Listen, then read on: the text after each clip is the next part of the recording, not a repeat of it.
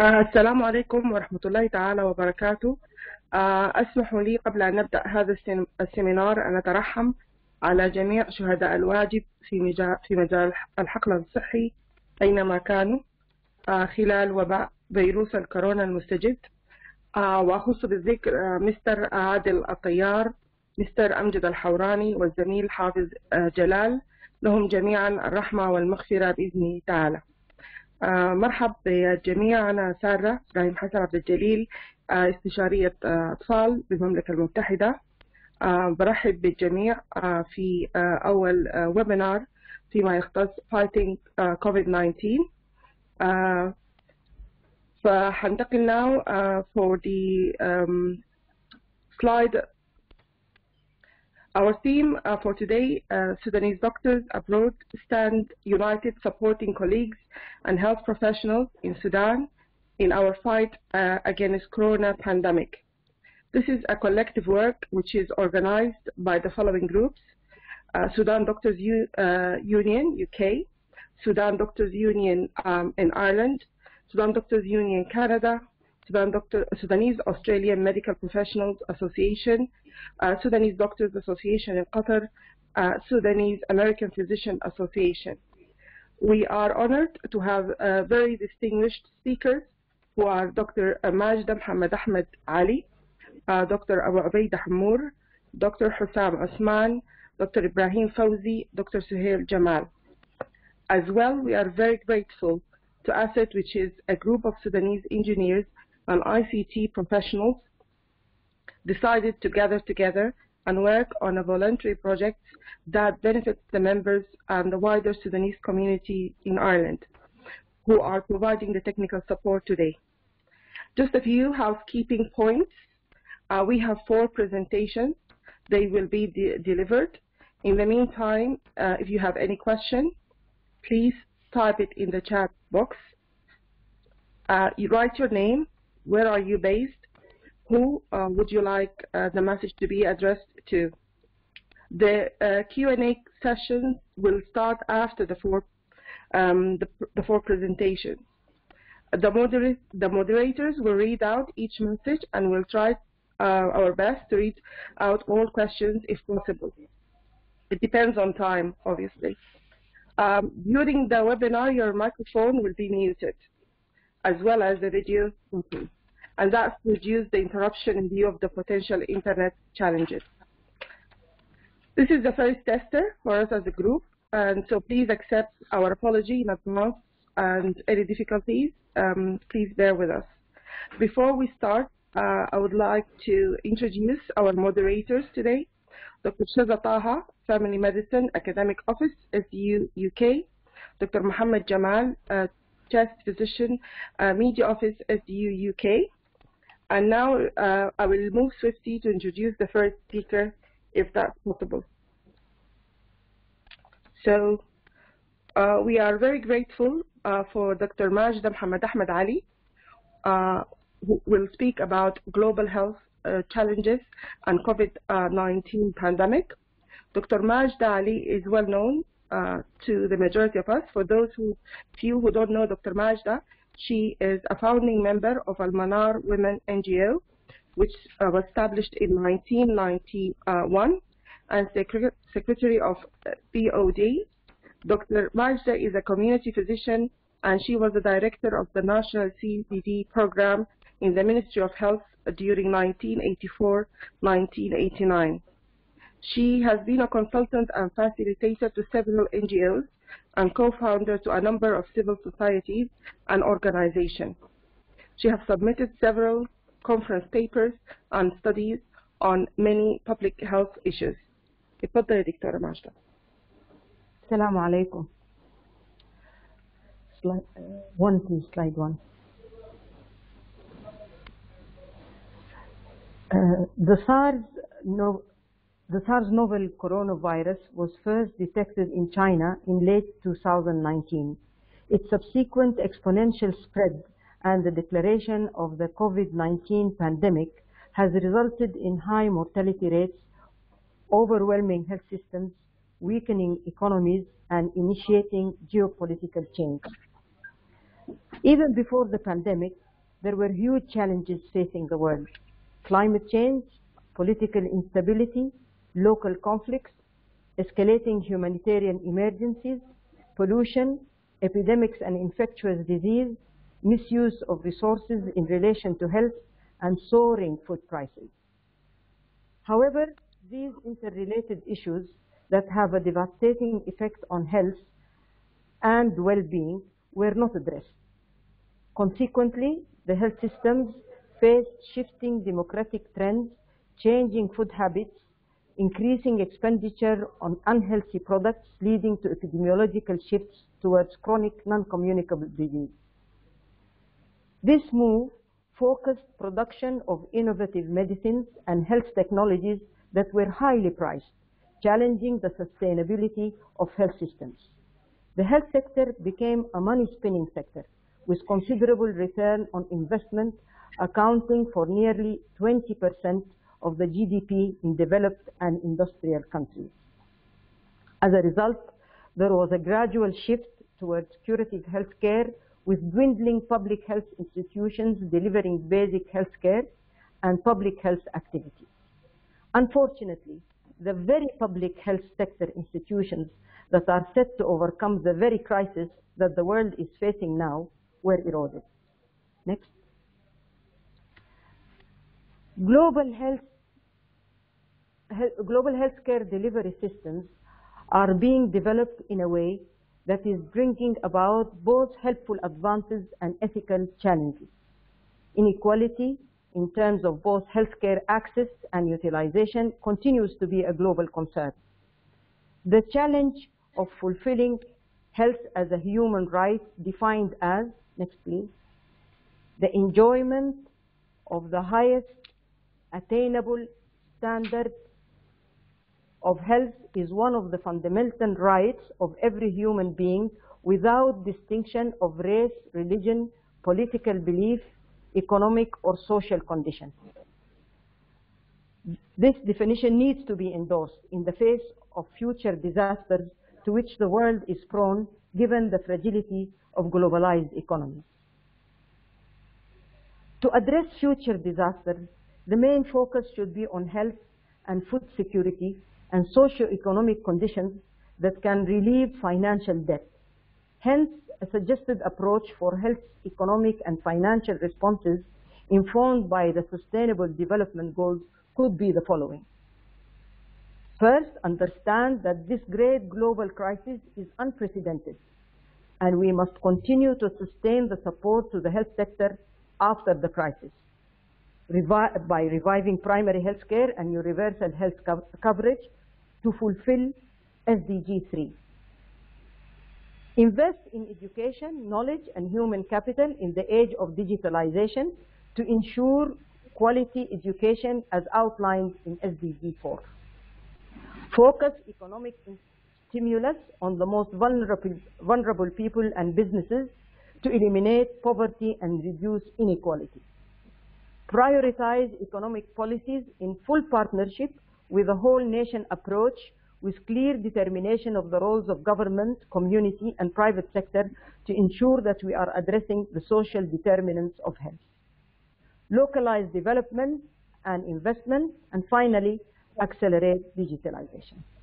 Thank you very much. Um, thank you very much, uh, Dr. Majda, for the precise um, speech. And it is, um, yes, uh, uh, the pandemic has exposed a lot of gaps, and uh, we need to endorse health as a human right.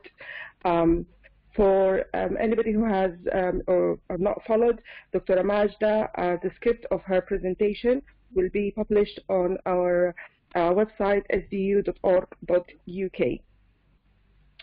Um, now I will move to the um, second uh, speaker, Dr. Uh, Abu Hamour, Clinical Characteristics of COVID-19.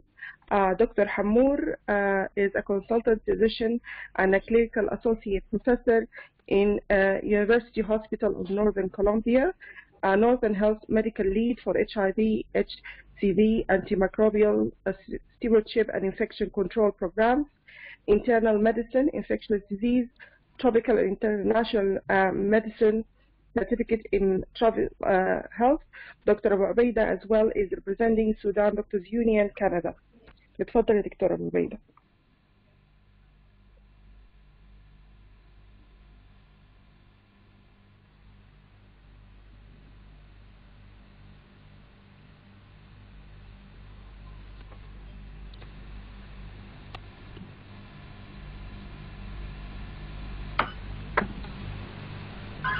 Dr. Babaita.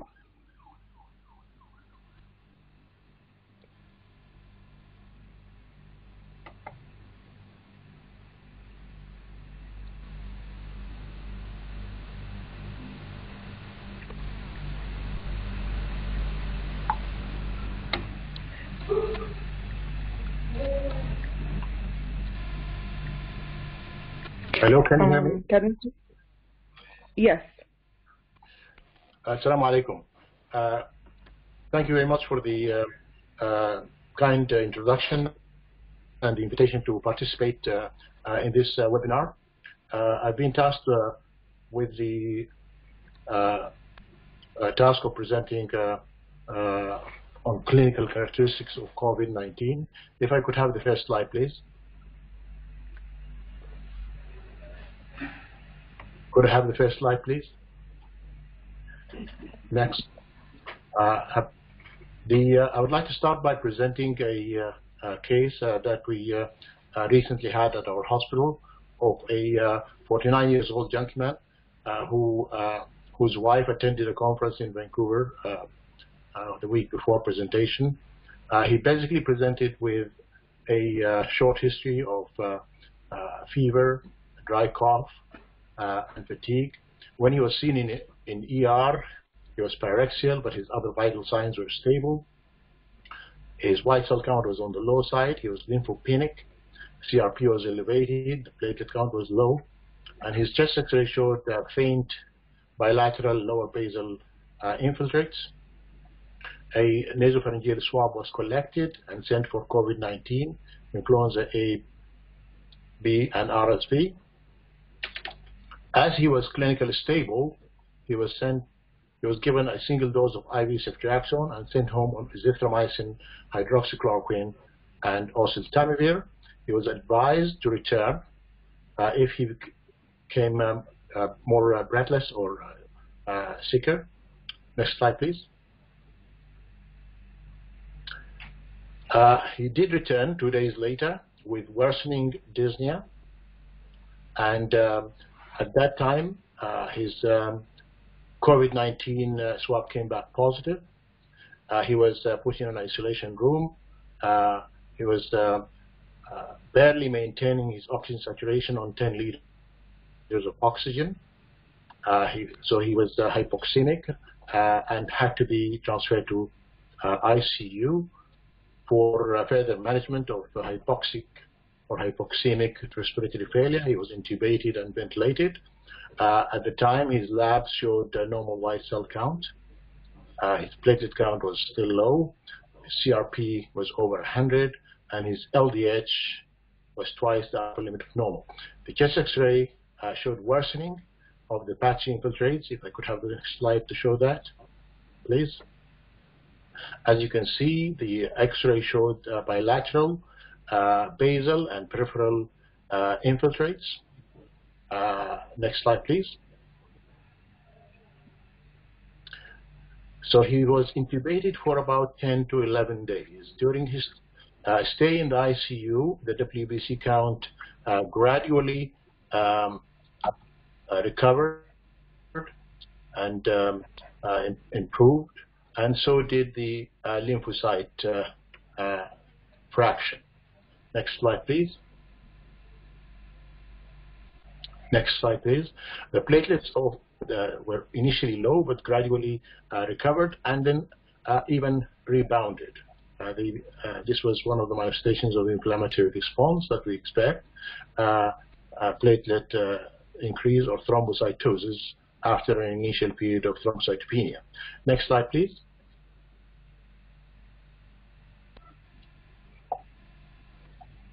The D-dimer was initially elevated, and this also uh, subsequently came down uh, to um, uh, normal level.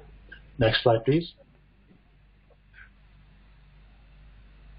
The ferritin, which is a, well-recognized acute, acute phase uh, reactant, was initially elevated and subsequently came down. And this is one of the features of the so-called cytokine storm that is often seen in these patients um, with elevation, marked elevation of ferritin, CRP, and D-dimer. this patient is now on the ward. Uh, he's requiring minimal amounts of oxygen and is uh, um, uh, ready to be discharged home in a day or two. Uh, next slide, please.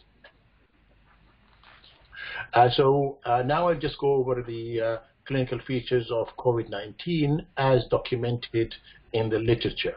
Uh, the incubation period uh, of COVID-19 ranges between two to seven days with a median of four days, but it can be up to 14 days. next slide, please. These are the symptoms as um, documented um, uh, in a, a, study from uh, Wuhan, uh, China. Uh, over a thousand cases uh, were reported in the New England Journal of Medicine at the end of February. And uh, the paper showed that the main presenting features of this disease are fever and a dry cough. Um, but it's important to note that uh, in the Chinese experience, over 50% of patients did not did not have a fever uh, at presentation. Subsequently, during that admission, up to 90% uh, of patients had a fever. But initially, uh, fever was absent, and, and this is important to remember so that we do not, uh, uh it does not put us off the diagnosis or it doesn't rule out the diagnosis of uh, COVID if the fever is absent. Um, about a third of patients may have a productive cough, but the majority uh, or two-thirds have a dry cough.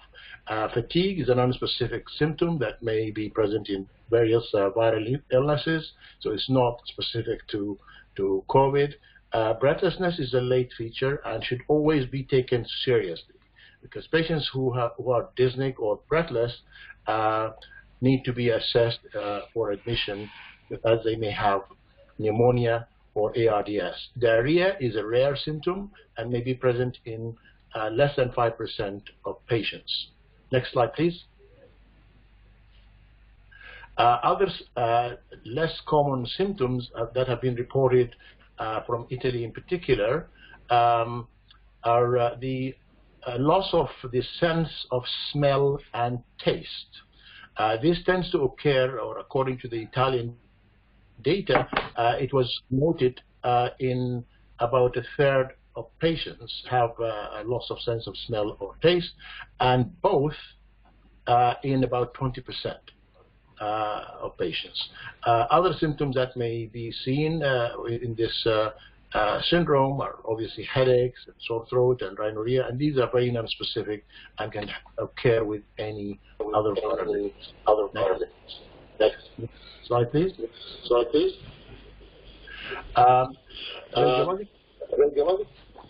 radiological findings uh, are uh, seen uh, in uh, about on, on a chest X-ray. Uh, abnormality is expected in about 60% of patients, uh, but the CT may show abnormalities in over 80% of patients.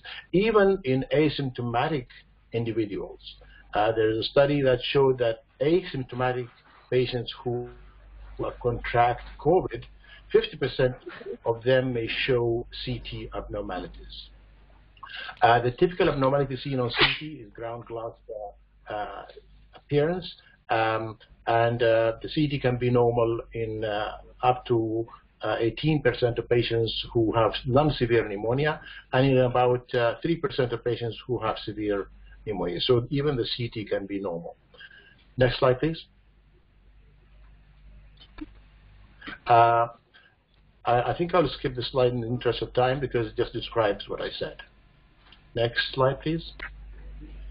Uh, this is an example of um, uh, Uh, chest X-ray uh, uh progression uh, showing uh, increasing or worsening infiltrate that usually start basally and peripherally, and then they move to the center. And you can see these. Uh, this is the initial X-ray in a Wuhan patient uh, that progressed to more widespread shadowing within three days of the first film. Next slide, please. Uh, this is a ground, typical ground glass uh, uh, shadowing or uh, infiltrates that are seen in COVID, but again, these are not uh, specific and may be seen in other viral pneumonias or um, other uh, pulmonary conditions. Next slide, please. Uh, this is a three-volume uh, reconstruction, again showing the uh, patchy infiltrates um, after progression uh, to involve the central parts of the lung. Next slide, please. There are some uncommon radiological uh, features that are that we would not expect to see in, in, in COVID uh, patients, and these include uh, pleural effusions that are seen in only about 5% of cases. Uh, masses, uh, cavitation, lymphadenopathy, these are unlikely to be present in COVID patients. And if they are, they should make us suspect uh, an alternative diagnosis. Next slide, please. The uh, typical or cardinal laboratory features of COVID 19 is lymphopenia or lymphocytopenia, which is present in over 80% of cases, uh, followed by leukopenia in about a third, and uh, likewise thrombocytopenia in about a third of patients. And as we've seen in the patient that I presented earlier, CRP elevation, ferritin, D-dimer elevation, these are frequent uh, uh, findings representing the acute phase response or the inflammatory uh, reaction. Next slide, please. Uh, so the WHO uh, classifies uh, uh, the uh, syndrome into various subtypes or syndromes. Um, the commonest is going to be a mild illness, uncomplicated upper respiratory tract infection with no uh, signs of respiratory distress, sepsis, or dehydration. And within this category, there may be some patients or uh, another category, maybe before this one, could be the asymptomatic uh, people. And uh, in a study from one of the cruise ships, it showed that about 20% of people who tested positive for COVID were actually asymptomatic. So maybe one in five people uh, will have no symptoms at all. And then you have uh, mild pneumonia and severe pneumonia with tachypnea and uh, oxygen desaturation or hypoxemia, uh, confusion, systolic or diastolic hypotension, uh, uh, ARDS, uh, and some patients may obviously present with sepsis or severe sepsis with septic shock. Next slide, please. so this is my last slide.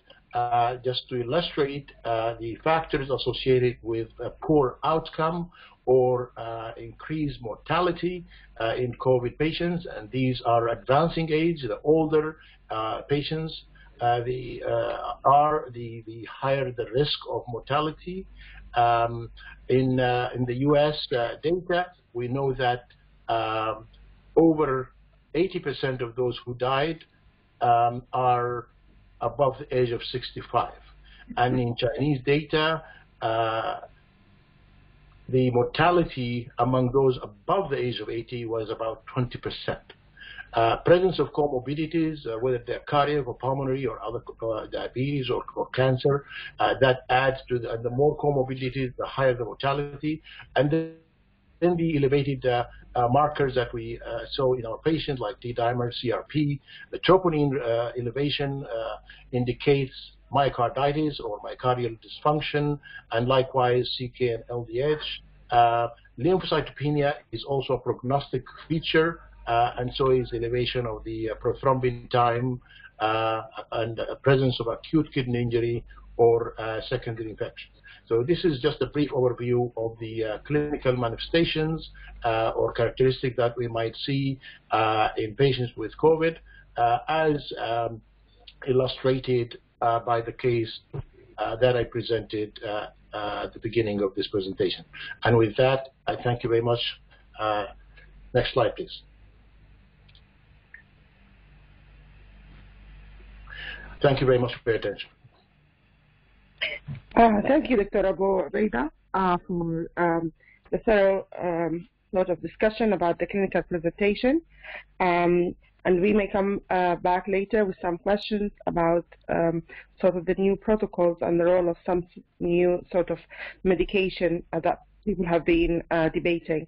Thank you very much. Um, I will now swiftly uh, move uh, to introduce um, Dr. Hussam Osman. We are very grateful for Dr. Uh, Hussam to join us today to talk about public health aspect and diagnostic challenges of COVID-19. Uh, Dr. Hussam is a consultant virologist and clinical service director in Birmingham Public Health Laboratory and uh, Birmingham Heart Hospital. Uh, welcome, Hussam. Uh, تفضل. شكرا جزيلا. Thank you very much for the invitation. Um, I'll just take the opportunity with, with, my presentation to talk today about the public health issues uh, related to uh, COVID-19 and uh, uh at the same time uh, uh, give talk about England as having England as as an example. Okay, this is first slide to just give you a timeline about the story with COVID since it was first described in the 31st of December last year and when were the first cases reported and so on. Um, and going down till present day or yesterday. And this is the as you can see at the end the last count of numbers in, in the United Kingdom up to yesterday. Uh, the slides will be available for people if they want to go in details about this. And so just for the interest of time, I will move on. Now, so this is this once since the epidemic began, and this is the story in China. As you can see, the numbers since uh, the beginning of the epidemic till now is slowing down significantly in China, and ending at about 80,000 uh, cases in, in China. Next slide, please. So lots of studies came out after the experience in China, and they compared uh, COVID-19 to the uh, coronavirus which cause uh, uh, uh mainly uh, severe and so on. So you can see as what they looked at the productive number and the doubling time, the incubation period, and the mortality and so on. And if you can look at this table, the reproductive number, just for people, excuse me, I will just, I know you all know this thing, just explain. The reproductive number is the number of people infected by each uh, single case. As you can see, COVID is just like SARS, uh, but more than MERS and, and, influenza. The doubling time is how much uh, the number double each, uh, takes double the numbers each uh, and each time point.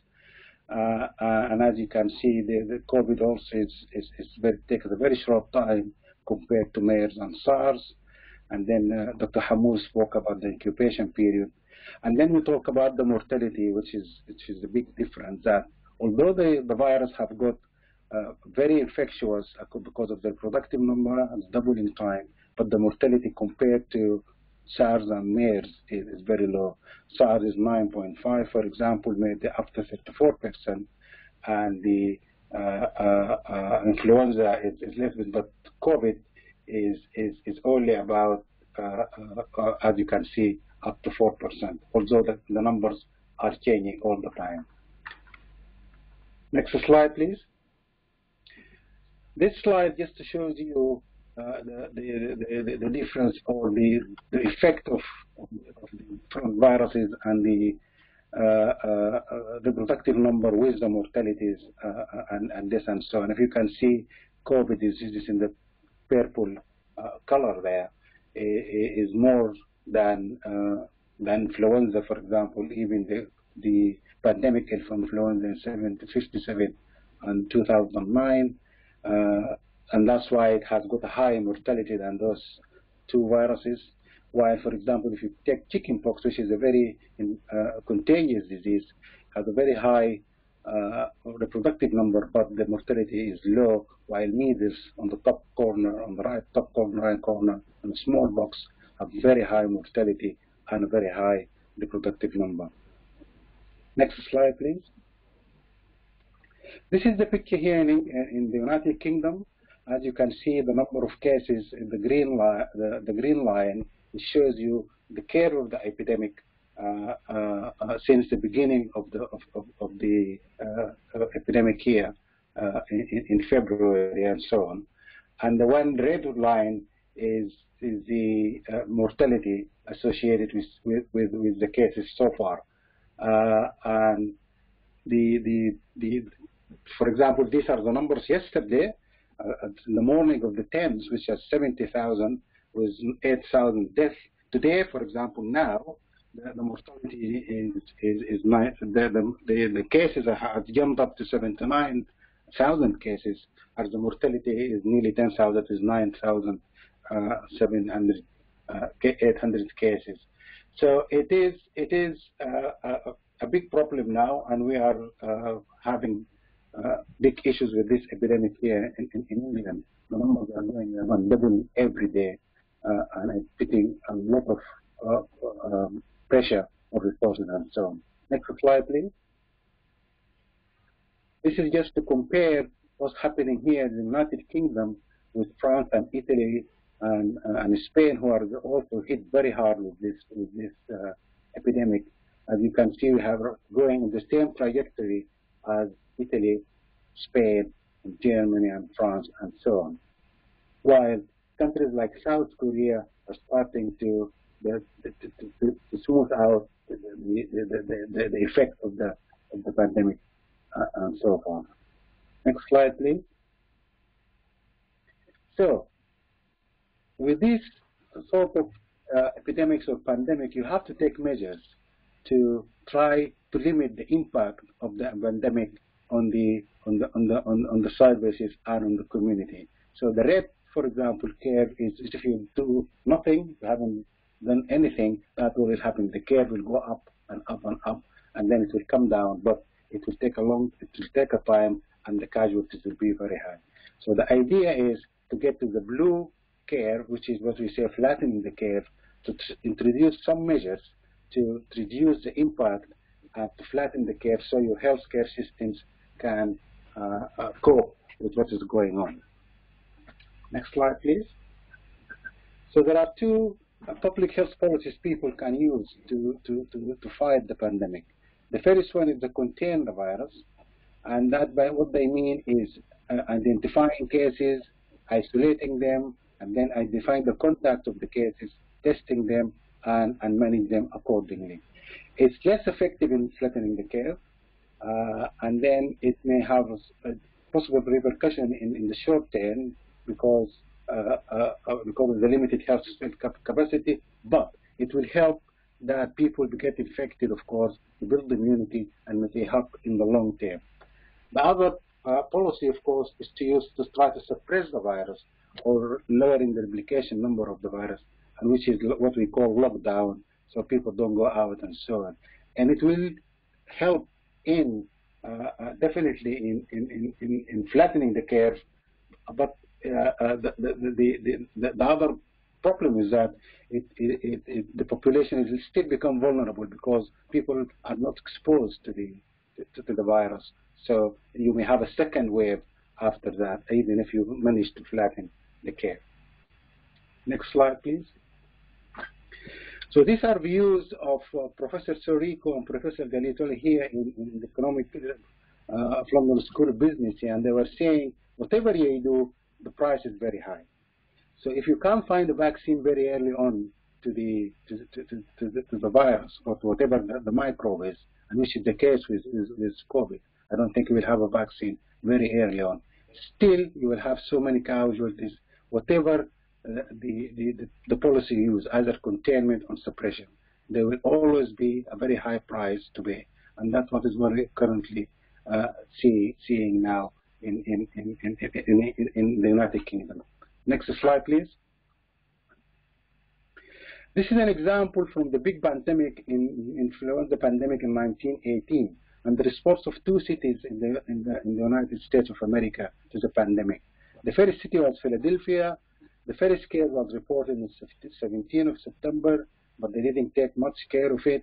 They went on with a very big citywide parade in the 28th of September, and uh, uh, and as you can see, the curve, which is the which is black line, very high casualties, and a lot of people died and suffered.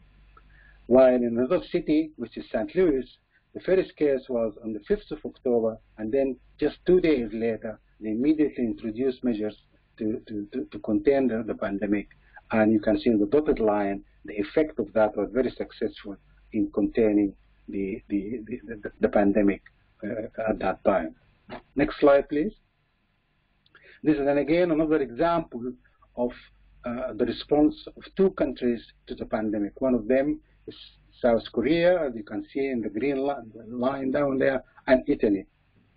So South Korea was very aggressive in, in, in, in fighting the, the, the, pandemic. They introduced social isolation, they introduced rapid scaling of testing, uh, uh, and isolation of, of patients and so on. And you can see they managed successfully to, to control uh, the pandemic. They had only about 8,000 8, cases uh, uh, in the country. It's very little mortality compared to Italy, which is still suffering from what's going on, on the, on, on, on uh, with the pandemic. Next slide, please. This slide just shows you what what we did here in, in, in England uh, since the 5th of March, uh, we closed with a, a notifiable disease. Then we introduced measures gradually to close the schools and so on. And the 20th of March, that's when we finished the, the uh, England started introducing the lockdown.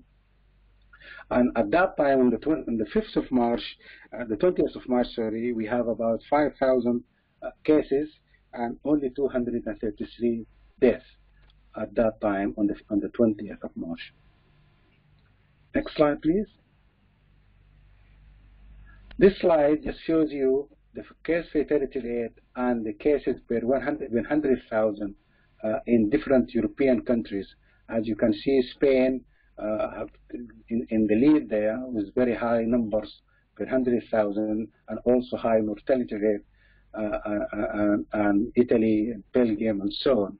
United Kingdom in red there, uh, we are uh, still have very high mortality compared to, although the numbers are not as excessive as Spain and Italy, but we have a high mortality there compared to, while you take countries like Germany, I just want you to notice Germany there is, is very high, uh, uh, although they have more cases than uh, England, but the mortality is very, very low. It's 2.8 percent. 2.8 per 100,000 cases compared to England, which is about 13 uh, cases per 100,000 cases. Next slide, please. So, why is England still suffering or having big problems? This slide there shows you when uh, uh, the lockdown was introduced in different countries around the world. And, and, as you can see, that some of the countries there introduced the lockdown very early on, although they didn't have the same number of cases like the United Kingdom. And the United Kingdom only introduced that, as I said, on the 20th of, of which is the number four on the on the uh, on the table there, uh, only on the 20th of March. So it was, I think, uh, some people say very late, and they delayed it, and maybe that's why uh, they, they they they have problems, still having problems with with with the epidemic. Again, with the lockdown, of course, one of the other issues which you need to introduce to fight them is to have vast amount of testing, large amount of testing to pick up people uh, and, and, and, isolate them, admit them to hospital, and so on. But the United Kingdom have problems with, with testing. Next slide, please. The problem we had here is that we have a shortage of diagnostic tests because this pandemic uh, hit most of the countries of the world and most of the well-developed uh, countries of the world. So they, they were all, uh, they don't have a problem with, with paying for these tests. So the demand was very high, and, uh, and, and, and, so there was big shortage because all the countries wanted the same uh, material for the testing. The other problem we had in the United Kingdom, of course, here we don't have a diagnostic manufacturing industry in the United So big, all the big companies, diagnostic companies like the Roche, the Abbott, the Qiagen, they're all based outside the United Kingdom. And we know that now, for example, the United States have, have, some sort of an embargo, anything diagnostic to leave out the United States because they wanted it themselves. Again, there was a questionable quality of some of the tests which came through uh, uh, and they were not very good, so they, we couldn't use them. We didn't have a very good, uh, still, reliable serologic test to look for IgG or IgM. Some tests on the market, but they are not very good. Then we have a problem with logistic of having test facilities, how we store and transport diagnostic material, uh, reporting of results and so on. So we have a big, big issue because suddenly we are faced with this big, big demand uh, and, and, I think United Kingdom were, were, were not ready. Next slide, please. This is just to show you the projection of the test, the molecular tests that need to be by till the end of April. Uh, the black line is the what what is need to be done daily, about 30,000 tests uh, per day, uh, and we are still very early on. We are uh, doing about 16 or 15,000 tests so far. But this is what the projection what is supposed to happen by the end of the month. Whether we will be able to do that or not is still questionable. Next slide, please. So the, the, plan now is, is, is to, the plan is to have these five pillars. The first pillar is to increase the number of uh, molecular testing. Uh, as I said, the projection is to get to about 30,000 and, and introduce also commercial uh, PCRs and so on, so you can increase the amount of testing in the community. And the third pillar is to have a good antibody testing as a diagnostic test. Uh, and then pillar four is to have a very big, also serological platforms to do large serosurveillance studies in the community. And then the, the five, fifth pillar is to actually not to be faced with the same problem again, to have a big diagnostic national uh, industry in, in the country, which of course is going to take time. So they are working now within all these uh, uh, pillars, different categories of the of the public health and, and, and NHS are working on these pillars, but there are still live problems and big problems facing them. Next slide, please. So this is my last slide, and, and, and just to show you that this virus is very, very, is, is very transmissible. It affects, uh, uh, average patient affects about up to 2.4 people. It mainly, uh, as Dr. Hamor said, it infects the elderly. Fatality is my main seen about the elderly. Uh, the under 40 seem less than 2.2%. Uh, and then the other uh, men are also, as Dr. Hamor mentioned, are highly infected compared to women. And there is a lot of unknowns. We know that, for example, asymptomatic people are, are, are a source of, of, of, infection, but we don't know how the magnitude of that and what part they play on the, on, on the pandemic. Uh, we don't know, for example, yet if you recover from the infection, are you going to become immune or not? and we don't know whether this virus is going to be seasonal, for example, just like all other respiratory viruses, which will come only in winter, it's going to be all year round. So these are all unknowns uh, uh, uh, about this about this virus. Um, but the, the, immediate thing, of course, is to, to, to, overcome the current problem and then uh, get to the, to the next stage. Thank you very much. Uh, thank you, Husam uh, for this um, presentation, which ended exactly that we are uncertain about the virus. It's hitting the health service significantly globally, and I think it highlights that um, the issue with health is not uh, just a national, it's something that has to be looked at um, um, between all different countries uh, uh, away from politics. So thank you very much. I think we may come back with some questions later. Um, I would like to introduce um, the last uh, presentation, which is going to be delivered by um, two colleagues, uh, Dr. Uh, Ibrahim Fawzi, the ex-chair of critical care, ECMO, lead and consultant intensivist in Hamad General Hospital in Qatar, and my colleague, Suhail Gamal, who is a consultant anesthetist and intensivist in Hamad Hospital in Qatar. Uh, اتفضلوا. Okay, uh, thank you, Sarah, and thanks for, for the introduction. Uh, first of all, I would like uh, to say kulam عام والشعب السوداني والثورة السودانية بألف خير. Uh, at these uh, difficult times where we were hoping that everybody is going to be breathing uh, the breeze of freedom. Uh, unfortunately, it coincides with this pandemic, which uh, humanity hasn't seen for a while and made us all breathe heavily. But hopefully, many, many returns, and uh, in which the country and the people of Sudan are breathing the breath of freedom and liberty once more. So uh, my my my part of the talk is quite, is going to be quite brief. So uh, I'll be mainly setting the stage for my colleague uh, Dr. Ibrahim uh, about when it comes to about our critical care preparedness for COVID-19 pandemic. And hopefully he will get the tough questions uh, from you guys. So uh, first slide, please. Okay, so we all know the numbers, yeah? So every day you turn on your TV, you see these numbers popping up uh, on your screen. The cases confirmed are going up. The cases uh, recovering are also going up, not at the rate uh, that we would like to see, uh, but at least it is going up. And the number of deaths, unfortunately, uh, is going up as well.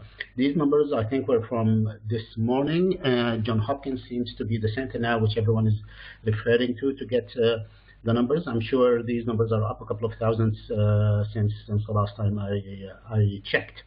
And as you can see in the map above, it's the disease is not really uniformly spread. You can see that there's hot spots there. Now shifting from mainland China to Europe and the UK, uh, Spain and Italy being quite hot at the moment, and also moving across the Atlantic where New York seems to picking up.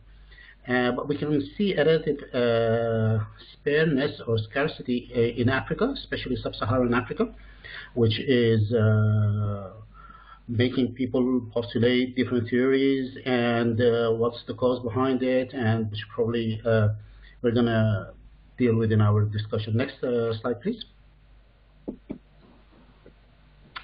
So uh, I tried to look for numbers of ICU admission, and there's nothing really uh, established there. We, we know it goes up as the death uh, mortality are going up as well. These were the numbers I could get uh, from Dave Manca in Italy, and uh, he was looking at uh, the ICU uh, patients, the number growing in his ICU in Lombardy, and you can see it's almost a linear and an exponential growth, as you can see in the case on the right in, on Italy. And the, the scary bit is that the, what we call the lower inflection point, and that's the point where the graph really takes off okay, can happen at quite a low uh, number. So if you if you see there, you can see that after 10 days, uh, probably uh, the number was around 200, but in five days after that, it doubled to 500, and then it goes up, and it goes up quite exponentially, which is which is quite uh, scary. Now, this of course depends, and the limiting factor for it is how many ICU beds you have in that region because a lot of patients in, in countries where there's no abundance of ICU beds uh, are not included in, uh, will not be included in graphs like these and unfortunately will might pass away uh, unrecognized by our figures. Uh, next slide please. So, uh, as the two previous uh, speakers have pointed out, you can see that the majority of patients who will have COVID-19 will have mild uh, to moderate uh, symptoms. And actually the best way to, to combat that is, is, the, is isolation and social distancing. However, a portion of them will have some kind of severe, moderately to severe uh, symptoms and would, would necessitate them to go to the hospital and get a bit of oxygen therapy. The minority, uh, which is usually quoted around 5%, of patients will uh, develop critical symptoms and might need uh, critical care. Now, the problem is when you look at the resources required to deal with this, it's the opposite way. So those who are critically ill and will go to require mechanical ventilation and ICU therapy will need a hell of resources, uh, whether it being manpower, being it equipment, being it medications, uh, and uh, etc. So, uh, and and that's that's one of the big problems when it comes dealing with uh, COVID-19 and uh, going uh, again, not being able really to flatten the curve. That you will need a lot of resources, and it's for a small population. next, please. So uh, another problem which shows itself is how we manage the uh, this uh, pandemic uh, and medical management, I mean. And there is a lot of societies out there who published a lot of consistent statements, like, you know, the Surviving Sepsis campaign, for example, or the Australians, New, the ANZICS in New Zealand, New Zealand and Australia, or the European Society, a lot, a lot, a lot of societies which uh, different uh, recommendations. Uh, but probably the one most of the world would go with is the World Health Organization. And I would like to point out to the pretty much the first two lines you read when you read this document, and which says that this is, publication is adopted from the clinical management of severe acute respiratory infection in MERS. Okay, so uh, we don't. the reason for that, I mean, we don't know a lot about the COVID we don't have a lot of randomized controlled trial, as you would imagine, in this short uh, time. And there are some of the research that's coming with very, very small numbers. Uh, so you have, uh, you know, studies which have 80 patients and stuff like that, which usually would never have seen its way through a, uh, a peer journal, but now it's making all its way to JAMA and all, all top-ranked uh, journals. So that's that's the problem. Uh, we're extrapolating what we know from the SARS and from from MERS to COVID, which is not necessarily true. Uh, next slide, please. Next slide. Yeah, so uh, when it comes to how can we be prepared in ICU, I mean, uh, this this is a list which was prepared by the Society of, uh, the Society of Critical Medicine in the U.S., which mainly covers seven areas: preparedness, logistics, communication, triaging, protection of staff, and uh, essential equipment.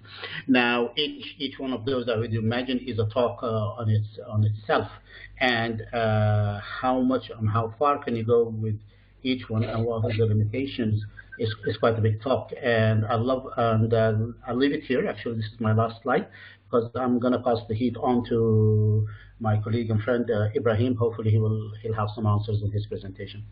Ibrahim.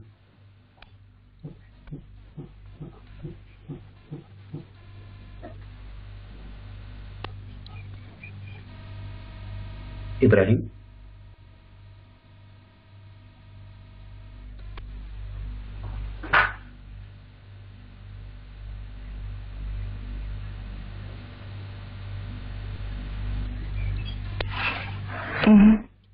He unmute or mute?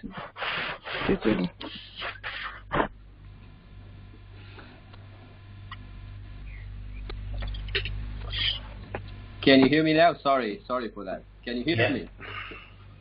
Assalamu alaikum, everybody. Uh, it's uh, a pleasure to be part of uh, this fantastic group.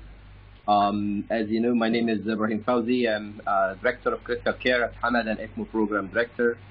Um, and uh, I have the luxury to be trained partly between the US, most of my training at Cornell and at, uh, at London and Guy's and Thomas's.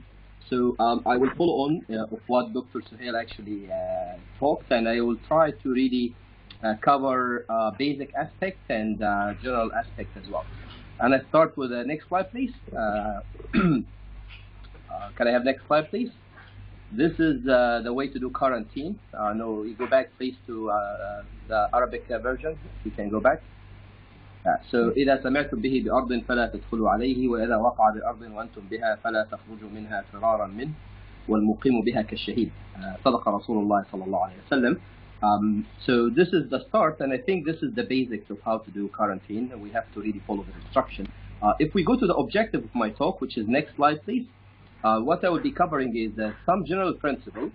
So to give you uh, a bit of facts about COVID, um, and then I will uh, focus uh, in critical care aspect, uh, and we'll touch about equipment, manpower utilization, and how should we plan for Sudan, for instance. next slide, please. So in general principle, um, we need to know certain rules. number one, it's actually a new virus uh, is not the regular coronavirus that we uh, used to deal with, whether it's MERS or SARS. It's a bit different. It's actually a mix of both. Um, it's evolving science. Every day we are learning something new about this virus and uh, how it affects uh, the human and how does the body respond to it. So every day we will have new data. And I see a lot of questions, anticoagulation, uh, chloroquine, and other drugs. We will try to cover uh, part of that, but every day we learn something new. Um, it's very contagious. Um, and our colleagues already spoke about that. Uh, 1 to 2.6, 3.2 ratio uh, of people that get infected. Um, and it's also very complex pathophysiological effect, which I'm going to talk about it. Um, and people uh, hear about the fatality rate. Case fatality rate is very undermining of this virus because this virus is so contagious and 80% of the patients who receive it um, are usually asymptomatic or mild symptoms. But the ICU mortality of this COVID virus is actually as high as the MERS coronavirus, 50% mortality. It can range from 20 to 50% mortality, which is very, very high. Uh, can we go to the next slide, please?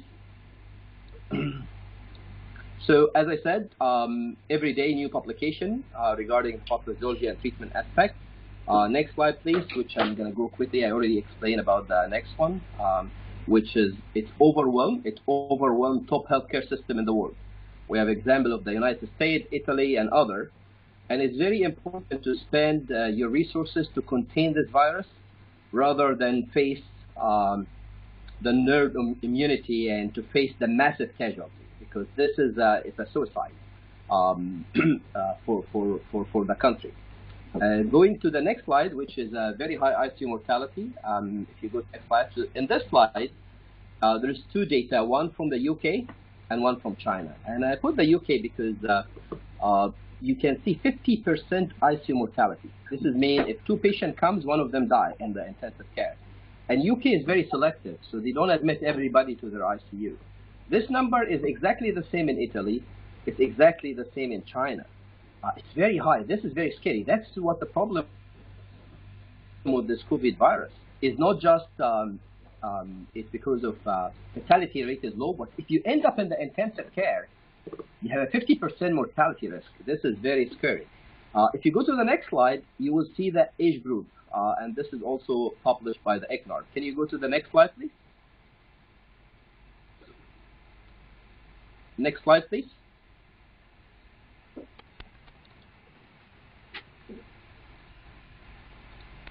Okay, so here you can see uh, age 16 to 49.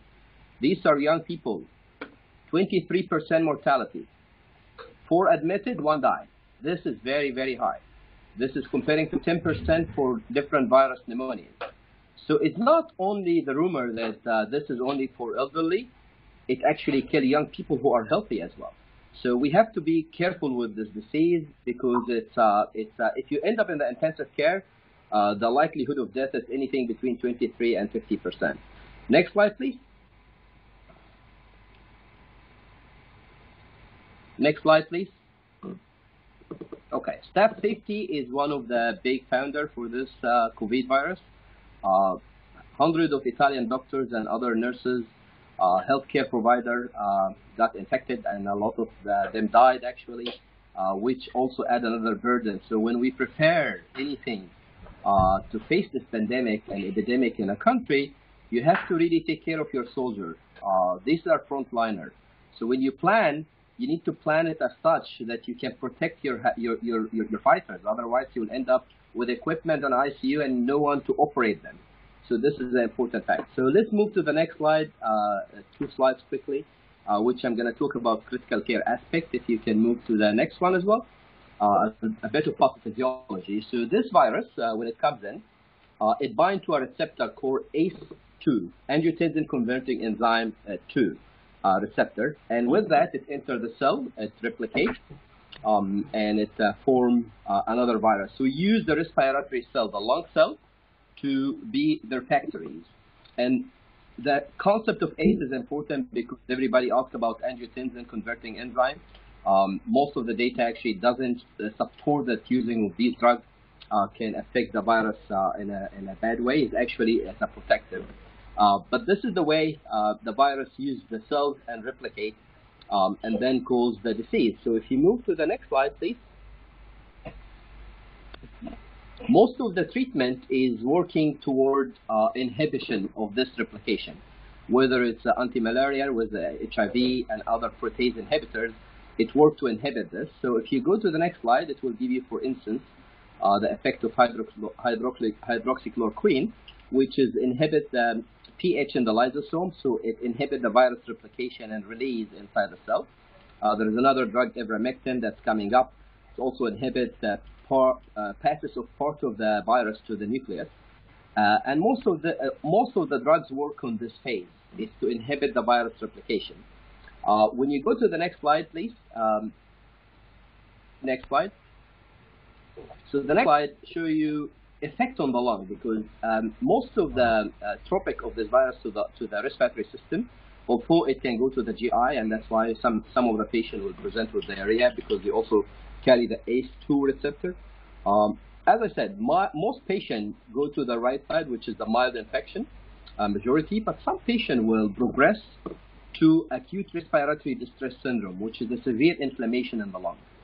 Uh, but not only that, it's not just uh, inflammation in the lung. It has a different mechanism than uh, most of the other viruses because it affects the vascular permeability. It affects uh, producing pulmonary capillary microthrombi, um, the VQ mismatch. So it's not uh, just one mechanism of hypoxemia, which will uh, I'll explain in the next few slides as well. So if you go to the next slide, uh, it will show you a different also mechanism. Um, if you go to the next slide, it uh, also affects the hemoglobin um, uh, beta chain um, and um, the affinity to the hemoglobin. And this is uh, in its own can carry uh, a lot of problem. It also increase the risk of hypercoagulable state um, and can produce patient to microthrombi, but also pulmonary embolism.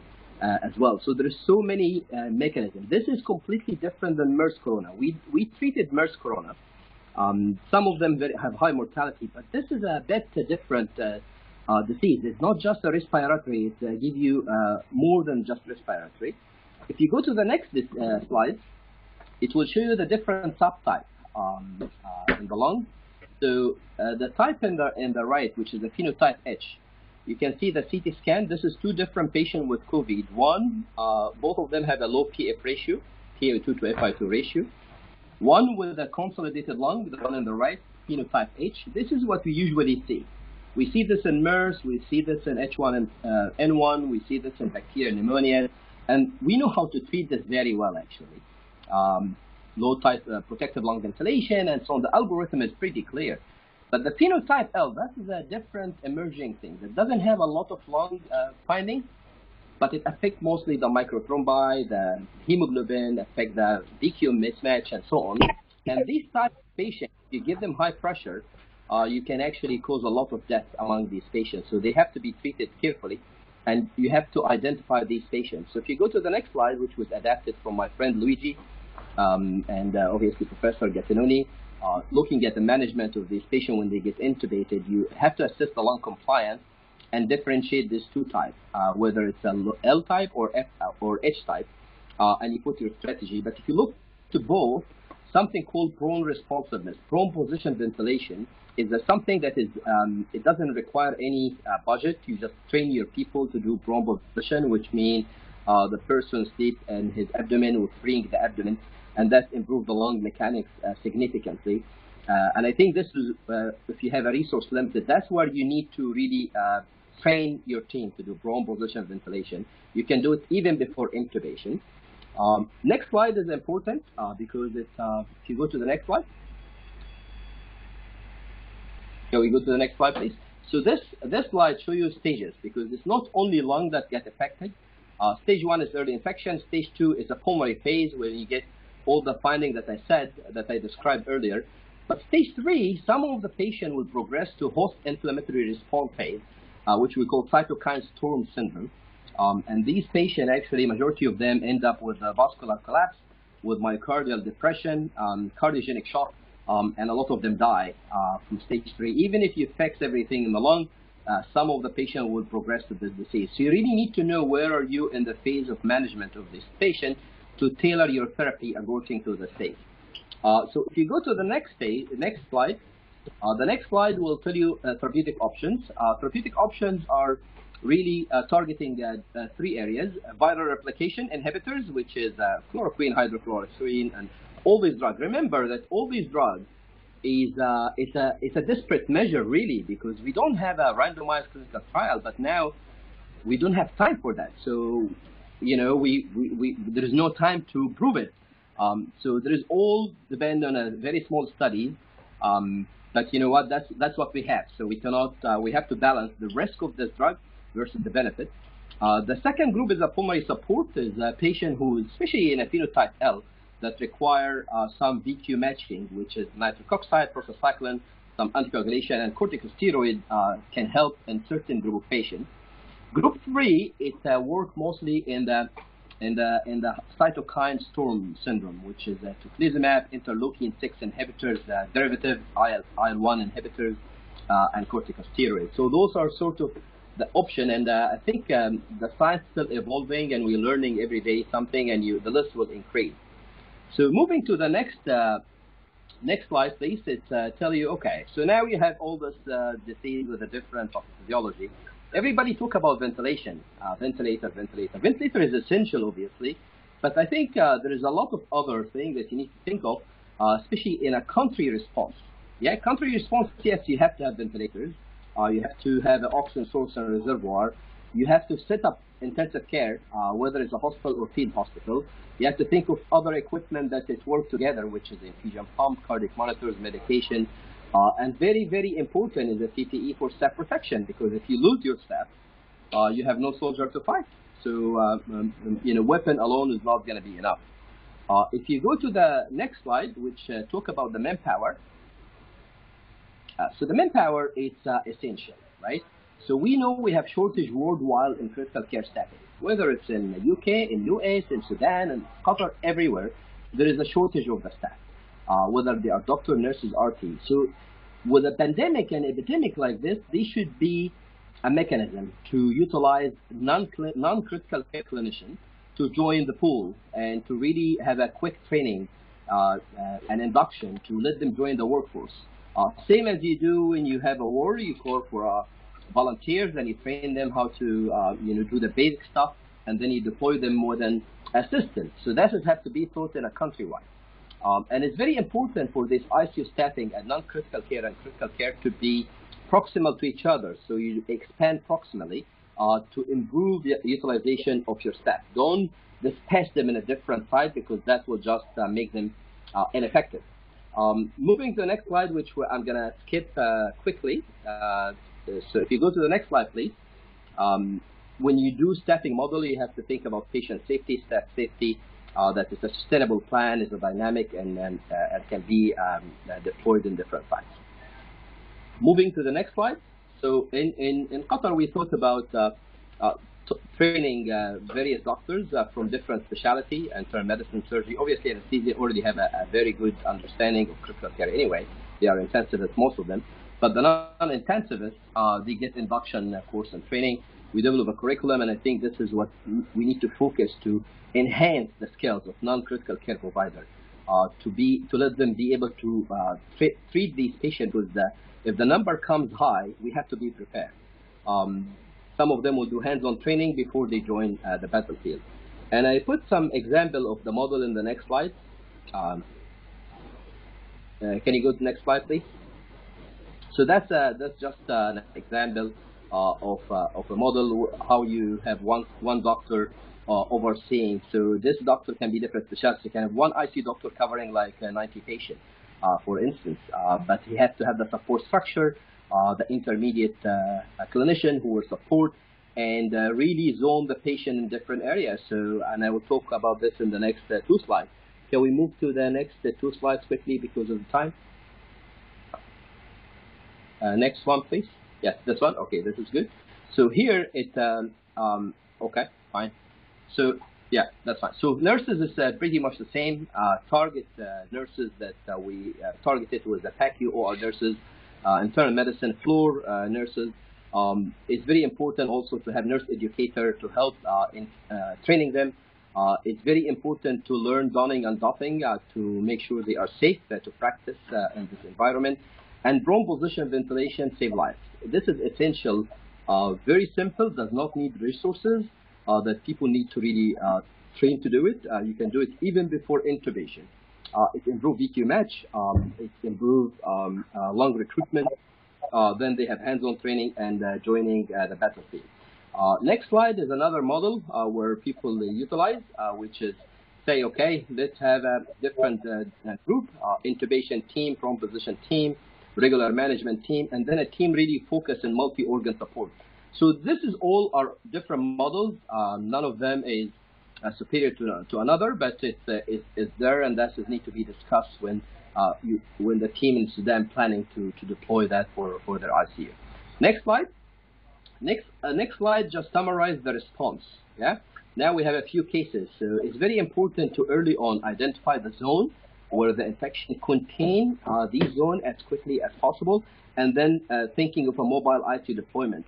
Um, and this is important to start to train and prepare your uh, workforce uh, who can join the battlefield, yeah, um, from a different IC provider and non-IC provider, mix them up, make the skill, uh, and they can go and uh, and fight if you put them in a safe place so they can uh, really give you be uh, best resources.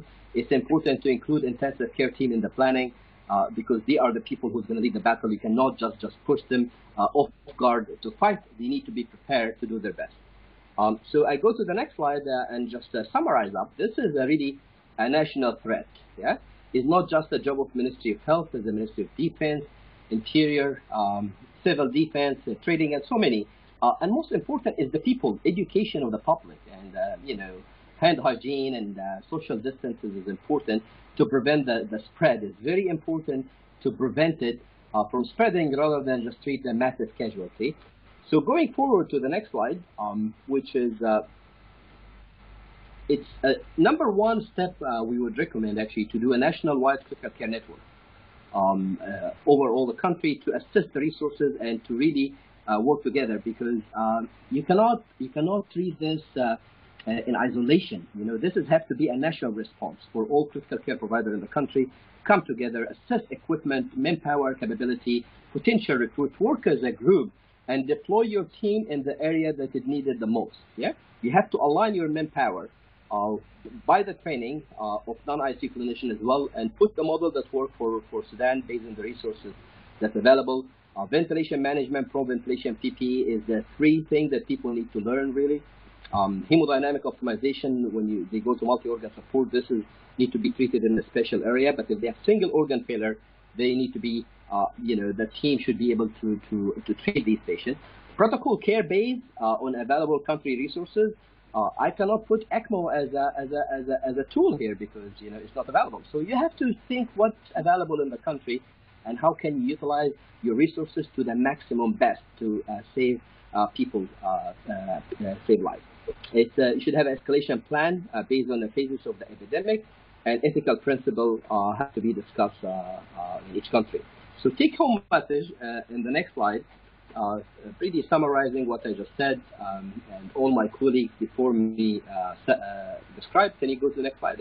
COVID is a new virus. It's a very contagious with evolving signs. 50% ICU mortality at the top ICUs. Talking about UK, Italy, um, US, China, 50% mortality. That's pretty high. Um, PPE ventilation management and prone position ventilation training is required to face the respiratory complication of the COVID-19. Uh, this is not going to help with the cytokine storm. You need to be prepared and to multi-organ support need to be thought of. There is a need to establish National Critical Care Network, KCCT, to cope with this pandemic. This should be done in every single country. UK have a very good uh, network, but other countries don't. Uh, Italy, finally, they mobilized their network, but initially they did not mobilize it early, um, and, and so on. So this, this network is, is the key for the fight. Um, COVID-19 is a national threat, require country-wide resources mobilization. Prevention uh, is essential, uh, and I end uh, my presentation with the last slide. if you go to the next slide, which is that we have to pray.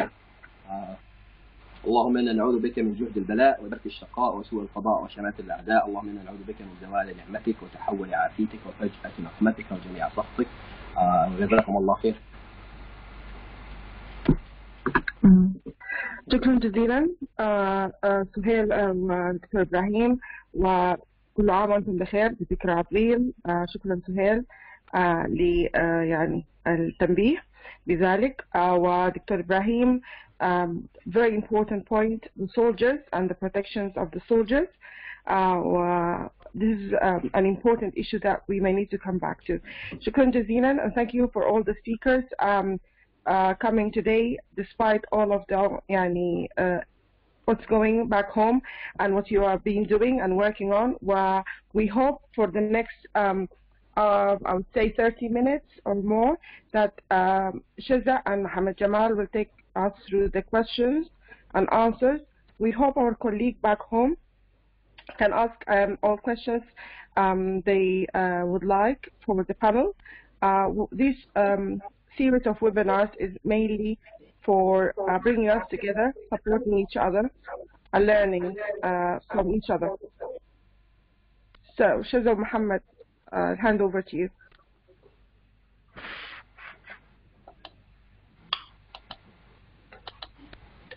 Um, okay, yeah. Okay, Assalamu alaikum. Um, I'm uh, Shada Taha.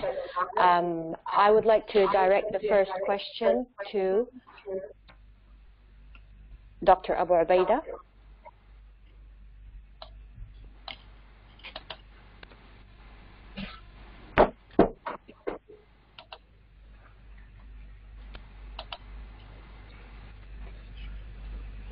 Hello, can you hear me, Dr. Abu Abu Ubaida?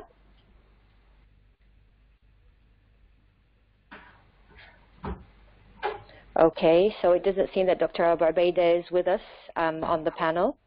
So I would like to direct the first question to Dr. Suhail Ahmed, please.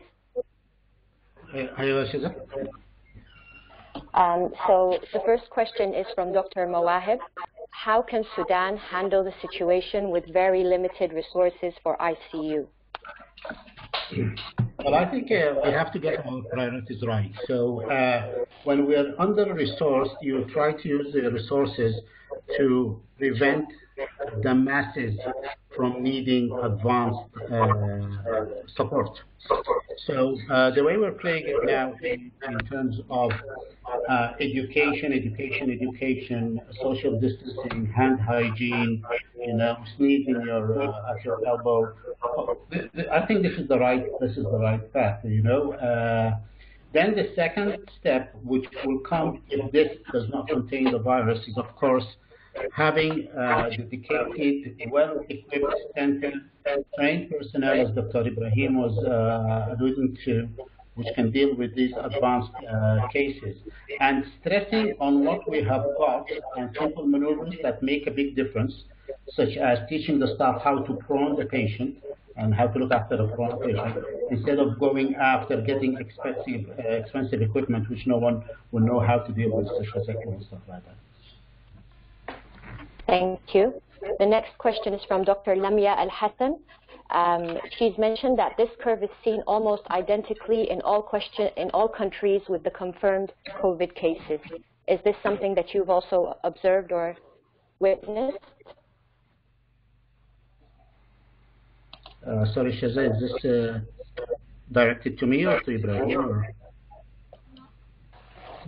Um, she did direct it to you, but maybe we can later on ask Dr. Husam to comment- comment on this. Um, thank you very much, Dr. Suhail, for answering the questions. I will now move on to Dr. Abu Ubaida Hamor, please. Uh, can you hear me? Yes, we can. So, Um, so the first question was, Dr., was from Dr. Ahmed Saadeddin. He had a few questions. Um, he's, his first question was, so you started anti-COVID um, in your patient, although his test was still pending. Uh, yes, the, the internist who saw the patient uh, in ER uh, uh, made a clinical diagnosis of COVID based on the clinical uh, presentation and the uh, lymphopenia um, and the minor changes on the X-ray, and he decided to start the patient on on that combination. And um, and the next question also is about sending the patient home with an abnormal X-ray. Uh, the, the patient was clinically stable, and the physician who saw this patient uh, um, made the uh, judgment that that patient was uh, uh, could be managed at home, and uh, he gave the patient clear, you know, guidance to return to ER if he developed breathlessness, and that is exactly what happened. Two days later, the patient came back because the of worsening uh, breathlessness. Uh, but he made the judgment that he was stable enough uh, to be managed at home, at least initially, because the course could not be predicted. He could have equally improved and not come back. Uh, so uh, that is a reasonable strategy in a patient who's uh, stable and not hypoxemic, doesn't have any signs of severe pneumonia, is not requiring oxygen supplementation.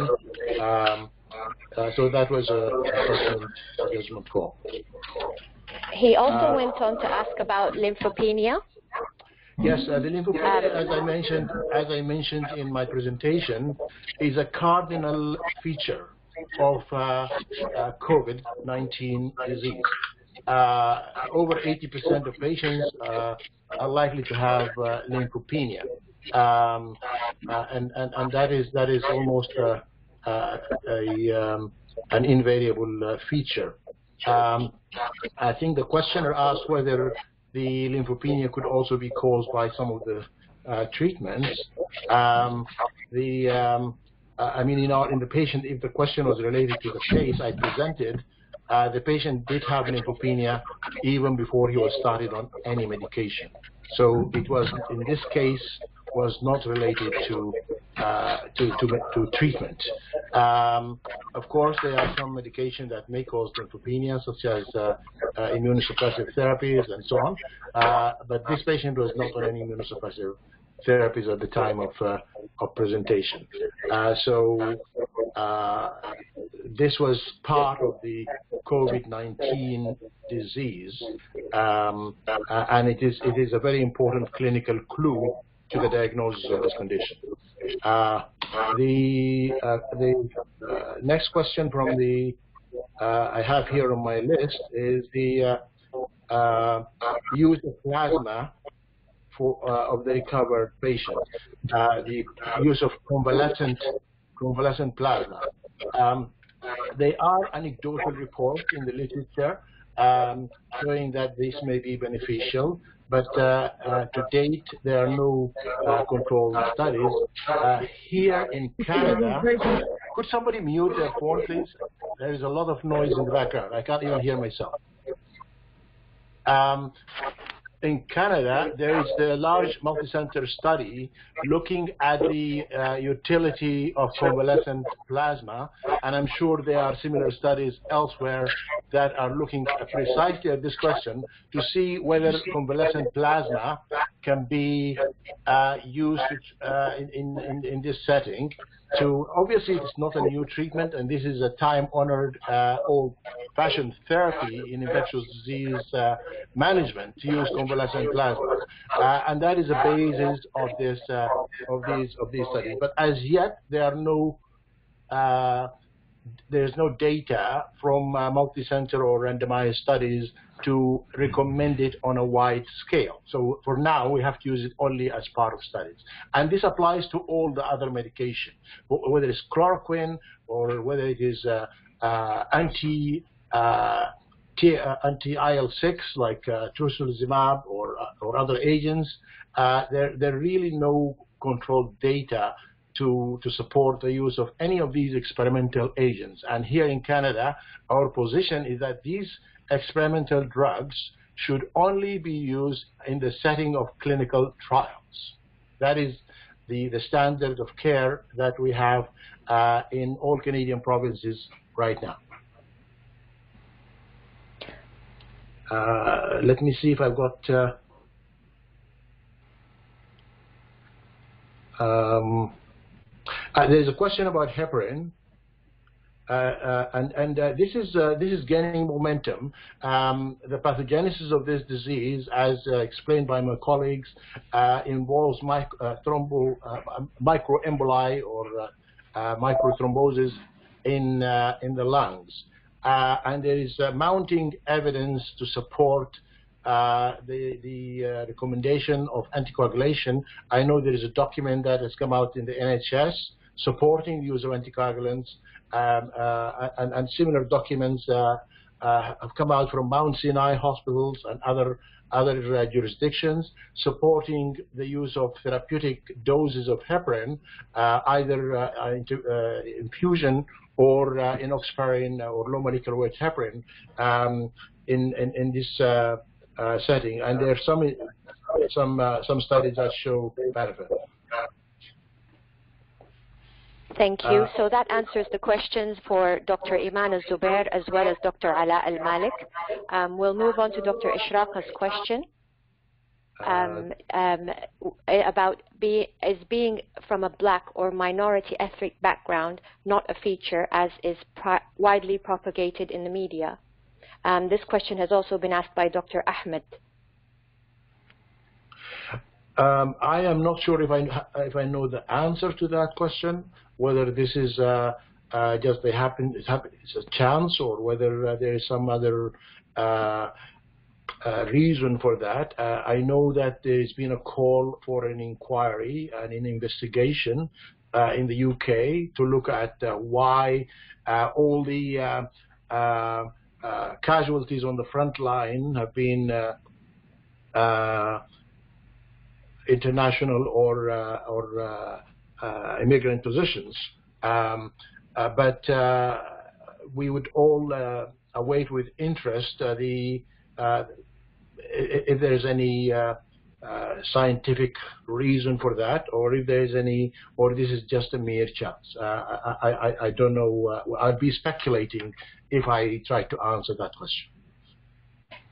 May I, may I just ask to if, if Husam would like to make any comments on this area, Shaza, please?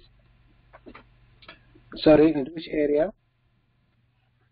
Um, the question that uh, Shaza have just asked about the risk factors from what you have seen, um, the uh, sort of black, Asian, and my, uh, minor ethnicity. Yes, I mean there is uh, this, this this is a hot hot hot issue here in the United Kingdom. Um, people are looking at the data now to see if that's really uh, a significant factor of of, of, of the, the other issues or the other factors in addition to the to the BAME uh, question. So we don't have the answer yet, uh, but everybody now is looking into that. I, I know that, for example, in my process, they, they are investigating that and they're looking at all the cases and looking at uh, to see if there are any confounding factors or this is a, a true risk factor. So we don't know the answer to that yet. Thank you. Um, so this question is directed back to Dr. Abu Ubaida. Um, Dr. Ishraq, um, Dr. Hiba has asked, why is hypertension considered a serious risk for developing severe disease?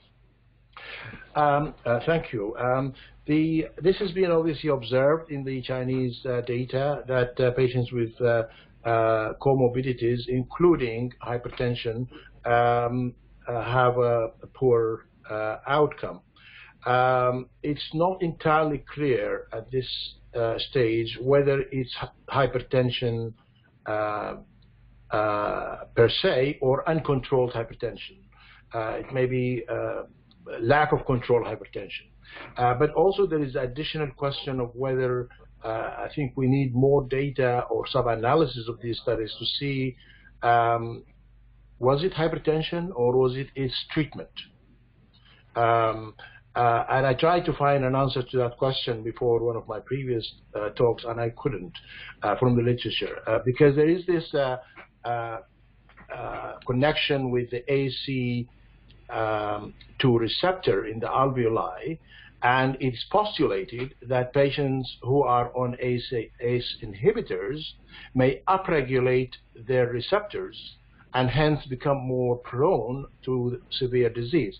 This is not proven uh, on a clinical at a clinical level. It's only a hypothesis uh, that uh, you know being on an ACE inhibitor may upregulate uh, the receptors and hence uh, make the person more susceptible to uh, a higher viral load or higher viremia or, or, viral infection in the lung. Um, so it's not entirely this area uh, is not entirely clear and requires further further uh, uh, analysis as to see whether it's actually hypertension itself or its treatment uh, or lack of control are the culprits or are, are, make, are, are what is make, making people uh, uh, susceptible to poorer outcome or to fatalities. Thank you. Um, Dr. Iman has asked, how is Canada monitoring the side effects of chloroquine? Are there any cases of significance that you may note and share with us, please? Uh, as I mentioned uh, earlier, uh, in Canada, chloroquine or hydroxychloroquine are not recommended as standard therapy for COVID disease.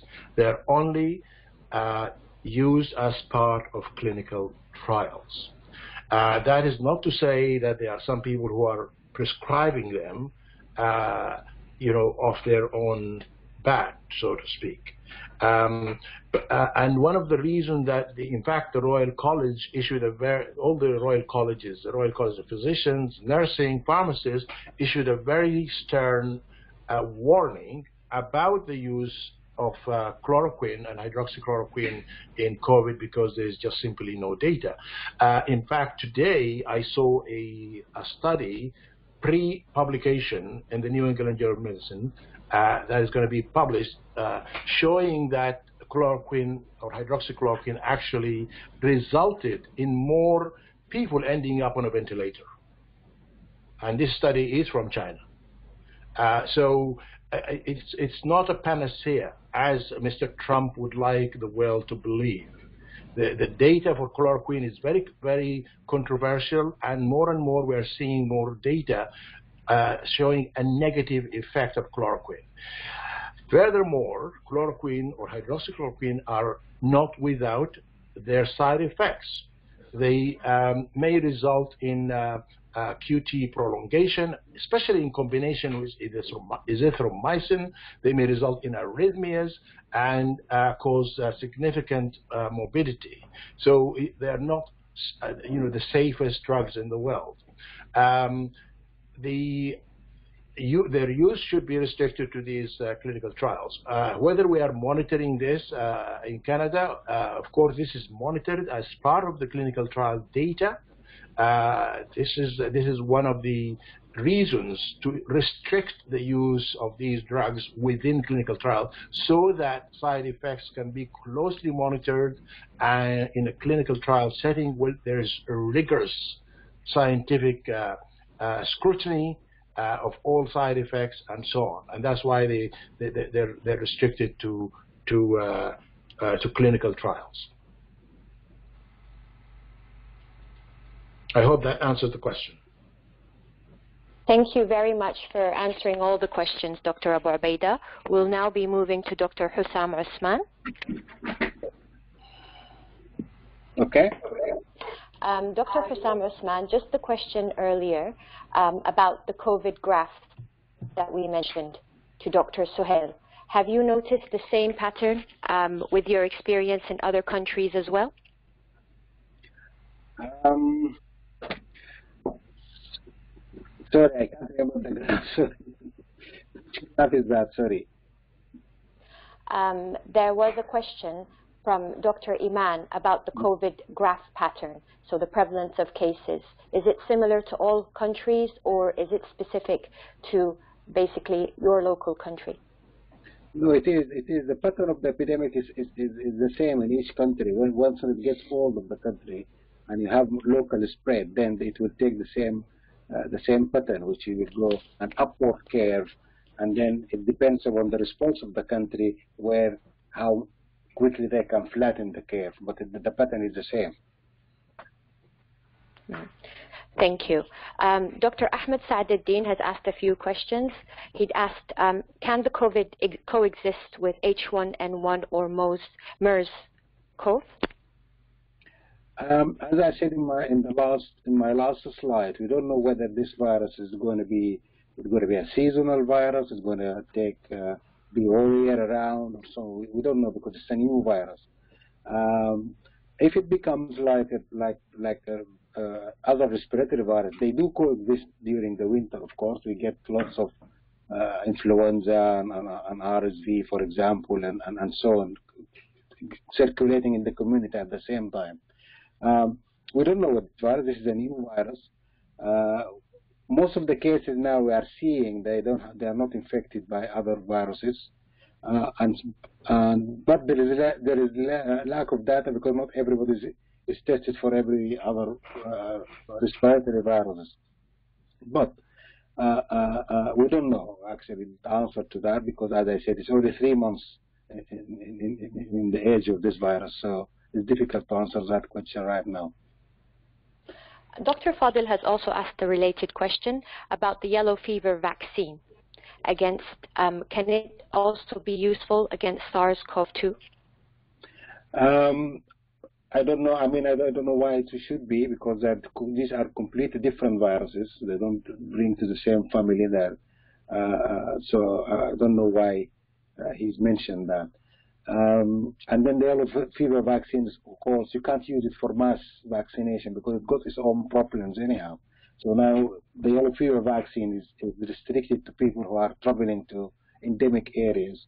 It's, you can't. It's very difficult. I think it's going to be very difficult to use it for mass uh, vaccination.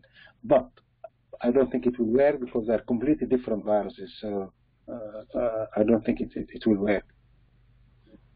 Thank you. He has also asked, um, how can we explain the low confirmed cases in the meningitis belt in Africa, including Sudan? Um, and what most valuable advice would you give to Sudan? Um, the question about the, the, the that belt uh, uh, uh, is is it's.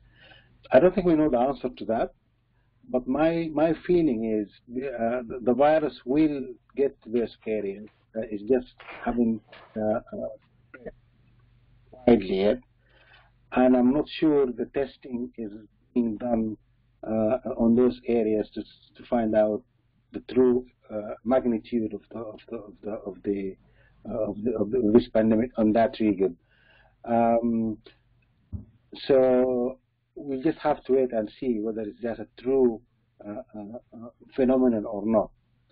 The advice is is definitely, definitely the public health advice should be followed. All the measures that the government is is is is, is uh, asking for should be implemented. Uh, isolation, social distancing, uh, embargoes, uh, washing of hands, all those things have to be followed because, as you can see from all the presentations today, this is not a joke. This is a very serious illness and people should really follow the public health advice uh, because if, if it gets foothold in Sudan, it's going to be very difficult to control with the resources we have. Thank you. Dr. Catherine Thomas has asked something related as well. Her question was, what will happen in large cities in poor countries if physical distancing and lockdowns cannot be maintained? Um, because there is no, I mean, there is no vaccine yet. Drugs, as everybody mentioned, there is no good drugs. So the only way we can fight this is, is, as I said, follow the public health advice. Try to isolate people, isolate patients, uh, uh, uh isolate people, uh, washing hands, cleanliness, and so on. That's the only way we can. We, we, this is the only tools we have at our hand currently. Uh, if the drugs uh, prove useful, and, and I, I, doubt that anyhow, if we have good drugs, then yes, we could use those.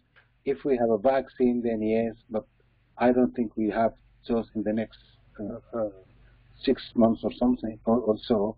So I think the public health measures are the only way we can move forward and fight this, this, this epidemic. Absolutely. Um, Dr. Muhammad Khalifa, as well as Dr. Ishraq Awad, have asked a similar question. Um, it's regarding the herd immunity idea. Um, so is it a gamble or would it be actually true to follow the herd immunity idea on the basis that the virus, the virus will not mutate too, too much? Or is it actually a very too early for this management strategy as we don't know much about this virus? So the question about the herd immunity is, this is a, school of thought, school of thought that says, you let the virus spread, so people become immune, they're going to get herd immunity, and that's how you, you fight the virus. But as I said in one of my slides, the price is high because more people are going to more people are going to get sick.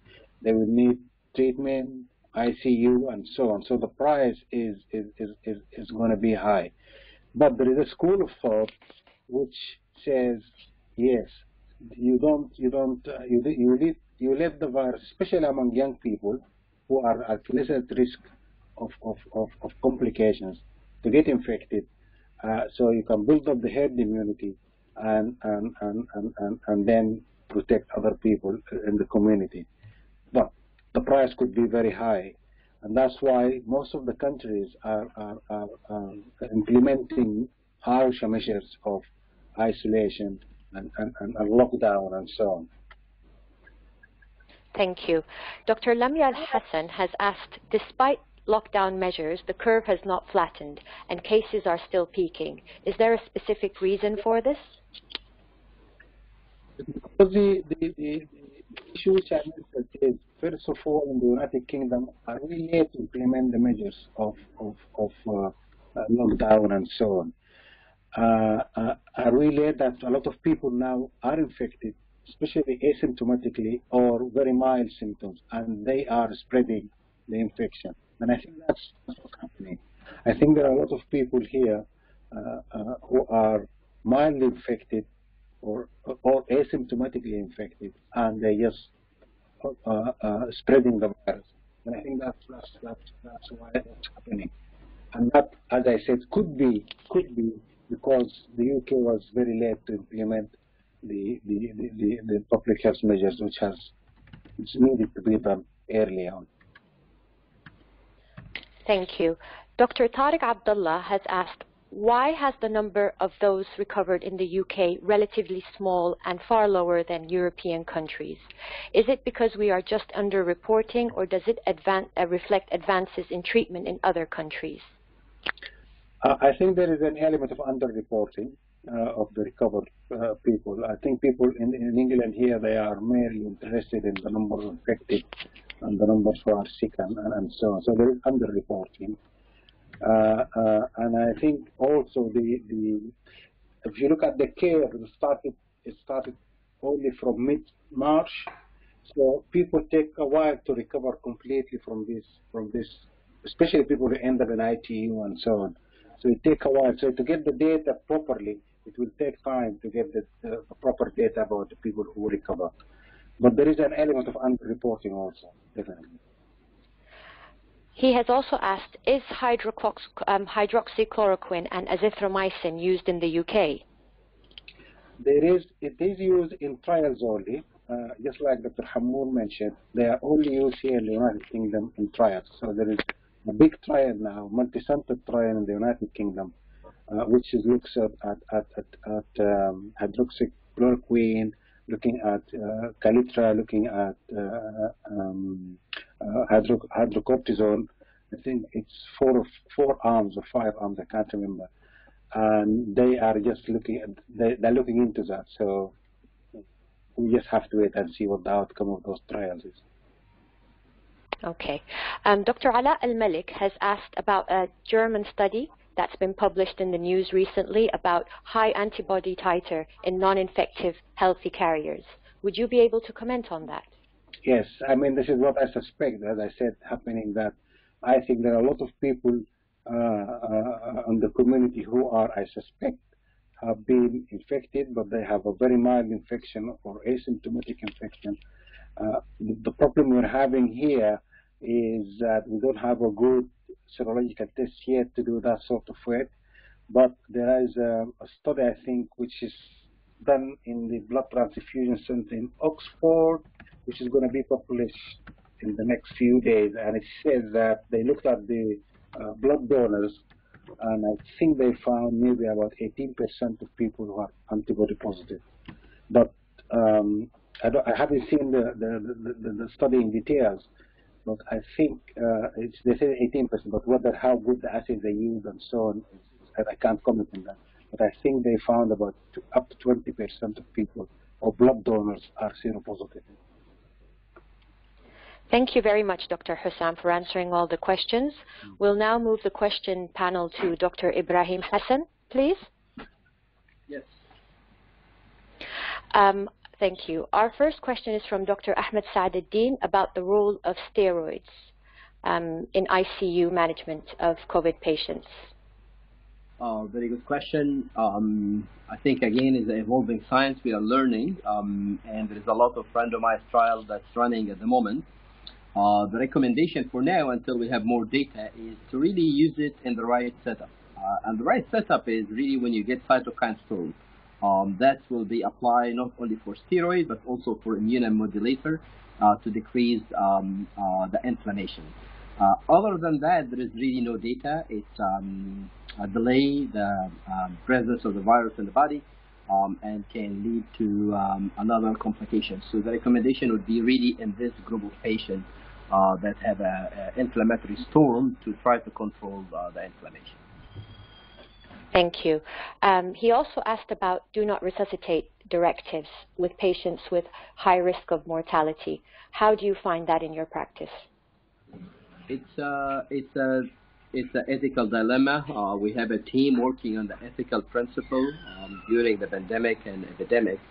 Uh, it's important to associate that with your phase of the epidemic because in the beginning of the epidemic, when you have a lot of resources, you really have to uh, treat uh, people, uh, you know, ethically uh, appropriate. Um, but again, uh, that has to be clarified. If you have someone who's 90 year old who's bedridden, would you do resuscitation for this patient? That's a big challenge. but if it comes to a 40 year old who is very sick with multi-organ support, would you treat or will you will not treat? This is all dependent on the resources and the availability of the equipment. If you run out of everything, what are you going to do? Uh, so it, uh, it's vary from a country to a country based on the resources, and more importantly, in the phase of the epidemic. Uh, if it's uh, if it's in the peak and uh, you exceeded your capacity, you have to target your treatment to the people who will benefit the most. Uh, it's a bit difficult, but this is exactly what happened in a war. When you are in a war zone and you have a lot of casualties, you will really look for the people that you can save. Some you will not be able to save. I hope we never reach this stage, inshallah. Uh, but this has had to be really uh, assessed in this context. Uh, we cannot generalize. Um, it has to be assessed in the in the phase of the epidemic and whether you exceeded your capacity or not. Thank you. Dr. Rawi Ahmed asked, has asked, any experience in proning non-ventilated patients? Can this delay ventilation or help reducing oxygen requirements? Absolutely, yes. Um, so um, in our center, we've done that uh, for many, many, actually, for a long time. Um, and now the data and evidence is worldwide. Many, many uh, top centers utilizing prone ventilation strategy uh, way heads up of, uh, of intubation, and uh, many of these patients will improve without the requirement of mechanical ventilation. So this is something, um, if, if, if, something you need to train is a prone position ventilation, this is really save lives. I think um, for every ICU, this is something we have to utilize more and more. Uh, in Qatar, we have a very big team who are doing training everywhere uh, on prone position ventilation uh, and it's very, very effective. Uh, decrease the need for um, rescue therapies remarkably, whether it's intubation or ECMO and other. So something that we will definitely echo or will uh, recommend highly prone position. Thank you. This is very vital advice. Thank you very much. Um, Dr. Bahauddin Usman has asked about the role of ECMO in the treatment of COVID-19 critical patients? It's, uh, it's my area of expertise. Uh, so I'm the chair, um, past chair actually for uh, for ECMO in Asia and Africa uh, for last year, um, and it's um, it's it's the thing that I love the most. Um, it requires a lot of resources, ECMO play a very important role in COVID, um, uh, whether it's myocarditis and cytokine storm or severe respiratory failure who is not responsive uh, to uh, mechanical ventilation. Uh, the reason I did not mention ECMO because I know uh, it doesn't exist in Sudan yet. Uh, the first case was done by our team. I was there and we retrieved this patient to Qatar. Um, so I knew the technology is not available. That's why I didn't want to touch about it. It requires a lot of resources. And again, you know, it's all depend on the phase of the pandemic and epidemic, uh, whether you can, uh, if you if you have a choice, you have a two clinician, uh, and you have two patients, one who requires just simple intubation, one who need ECMO, or five who need intubation with one team. Uh, the same team will treat only one patient in ECMO. Which, which, one, which way you will go? So it depends on your resources. But uh, should ECMO be included in the management? Absolutely yes because it's actually um, very effective and it can treat so many uh, patients who will uh, fail in mechanical ventilation, uh, cytokine storm, who otherwise will die. Um, but again, this will come to your ethical principle. Did you increase your capacity? Do you have resources? Do you have a trained team? Uh, alhamdulillah, we have it here in Qatar. I hope in Sudan it will be available. In UK, I'm sure they have it. Uh, but it's something that's very powerful, uh, but it needs a lot of resources. Thank you. Our last question is about ventilator settings by Dr. M.O.B. Um, he's mentioned that high pressure is not usually a good plan. Do you mean high MAP or high PIP or high PEEP? And is volume a guarantee as an option in adults? Uh, when we talk about uh, high pressure, um, he seems like a, an, a, an a intensivist uh, or have a good intensive care knowledge. Um, we apply it to a PEEP number one and then the driving pressure. The pressure, not the MIP. We don't, uh, very few people now look to the mean airway pressure. We look to the driving pressure and to the PEEP. Uh, some of the lung, uh, in usual ARDS, you assist capability, you give them a higher PEEP, you put them in APRV mode or, or a high driving pressure mode. Uh, that will help uh, these lungs. Other group of patients, it will not, uh, especially if um, they are, their problem is not in the lung parenchyma it's a microthrombi, it's a vasculopathy, it's a um, you know other related uh, issues that uh, uh worse the VQ mismatch. Higher pressure is not going to help; it only can cause uh, complication. So, and I, I've seen another question talking about uh, can this lead to complication? Absolutely. You know, if you ventilate uh, people in the wrong way with not tailored to their need, it can cause a lot of problems and can kill people. Uh, and we hear this in the news and the report that, oh, mechanical ventilation can kill. Yes, it can kill if you do it wrongly. That's why you need to train people. Uh, and that's why there is a specialty called intensive care that people go through it and they understand how to ventilate patients. Thank you very much, um, Dr. Ibra Ibrahim, for answering these questions. I will now um, hand the microphone to Dr. Mohammed Jamal to address the remaining questions. Thank you very much. Thank you.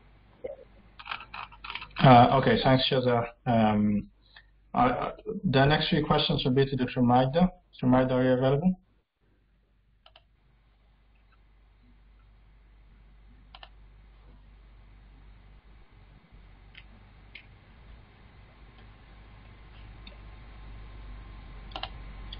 Okay, while we wait for Dr. Magda, uh, there's a question maybe to Dr. Ibrahim, uh, if around. Um, so there's a question from uh, Dr. Hala Abu Zaid um, um, who's an intensive uh, care consultant. Um, pragmatically, how can we help Sudan now by getting the critical care network up and running? You know, this is uh, this is uh, the question in the heart of the problem. And, uh, to me, I, I, I, run the critical care network in Qatar for a long time, um, and it takes uh, a lot of effort. Um, and it's something that needs to be um, you know, Sudan is much bigger, obviously, than Qatar. Um, there is so many different hospitals. I think that something has to be started ACP by the Ministry of Health or the leaders of Qatar. They need to come together um, and analyze all the ICU within the country. You know, get all the directors, even do a Zoom meeting, put a strategy. Uh, what is the manpower that's available in the whole country for critical care? Yes. What is the capability of training, doing online training of people within critical care or non-critical care? Um, yeah, what's the equipment? We need to have the list of all the equipment in the country and where to uh, resources. You will be surprised. Some of the hospitals will have ventilators that they are not using, and other are overwhelmed. So this distribution of the resources within the country is essential because you will be very surprised of number of equipment or medical staff who are available and they are not participating and other areas is really overwhelmed. So this is the time to pull this together.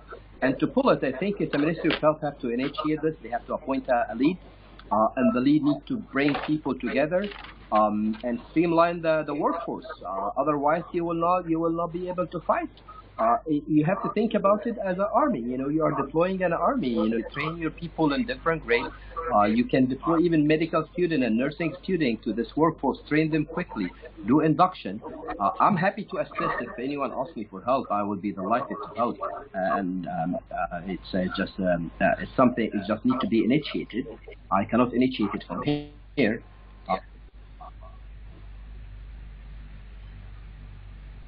Hello. but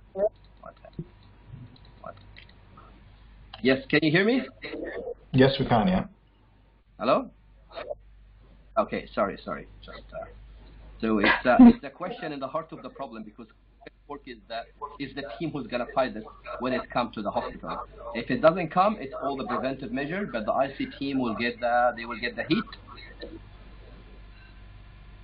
Okay, thanks very much for your answer. Um, uh, Dr. Magda, uh, are you available? Yeah. Yes. Yes. Okay. So there's a, a, couple of questions for you. Uh, first question is from Dr. Hisham Al-Kidir. Um, how can Sudan bring pressure on the international community to relax monetary transactions to help with funding the local response? Hmm. I really don't know. I think uh, there, ha there has been a lot of pressure from people to to the government to just ease the, the, the means of uh, of uh, you know receiving money from uh, from abroad. I, I don't know really what is the problem, um, and I'm sorry. I, they once they, I think they declared that Bank of Khartoum is ready to accept uh, people can transfer through Bank of Khartoum, but it was I don't think it is happening. Okay. Uh, so um, so another question is from Dr. Sarah um, about the role of WHO in supporting um, low resources uh, setting PPE. You know, there are there are a lot of donations coming in from uh, from UNICEF. From I think UNICEF now is in charge of the emergency uh, funds, and then there are very important local efforts. Uh, the group of doc lady doctors who were able to, you know, uh, find the material and actually they are trying to manufacture it in, in Sudan.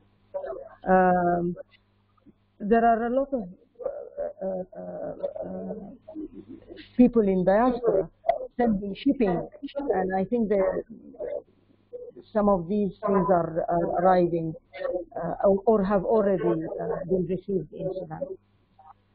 But uh, the demand is high, and I think there are so many efforts to, to get more of these protective equipment. Okay.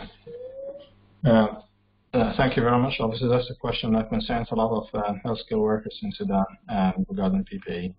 Um, I'm just moving to Dr. Husam next. Um, Dr. Husam, are you available? Yes. Yeah, okay. So I think this question has been asked in a different way earlier, but uh, so the question is from Dr. Haitham. Uh, do you agree that the low number of cases in Sudan could be possibly due to low number of tested cases?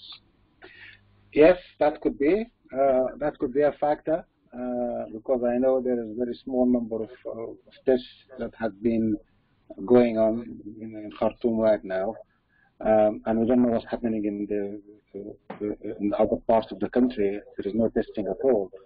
So yes, that's why I'm saying it. The, the, the people shouldn't just uh, believe that the, the, the this belt zone and, and, and the protection and so on. I don't think that's that's the case. I think people should be very uh, uh should be clear that this is not should be um, very clear that this is not the case and look for cases and, and, and, and, and, and be very open-minded about what's going on there. Right. Thanks so much. So the next question is from uh, Dr. Rashid Mekki. Um, he's asking about BCG vaccination, um, which is obviously a good number of people are vaccinated in Sudan. Mm. Um, any comments on that? Yes, also that's one of the series that have been mentioned that there is a, link between people who are uh, one of the explanations that has been given about that zone, because people are mostly receive BCG, and BCG could have providing some sort of community or uh, the immune system is, is primed to, to deal with anything. I don't think there is enough evidence yet uh, to say that. It's just an observation, uh, but I think we have to wait and see. I don't think there is enough evidence to support that yet. Okay. Um, the next question is from Dr. Hisham Al-Kidder. He's, he's, asking about children and, and why the clinical presentation is generally mild, um, if, if you have any thoughts about that. Um, we don't know. We don't know the answer to that. Uh, but we, we, we, this is something we have been noticed. Just not just children, even young young adults. The the the the, the, uh, the infection usually is mild or asymptomatic. Uh, but in children, it is more noticeable that there is very little going on in, in, in, among children. Um, we don't know that. We don't know the answer to that. I don't know the answer. Maybe um, some of the other speakers could have.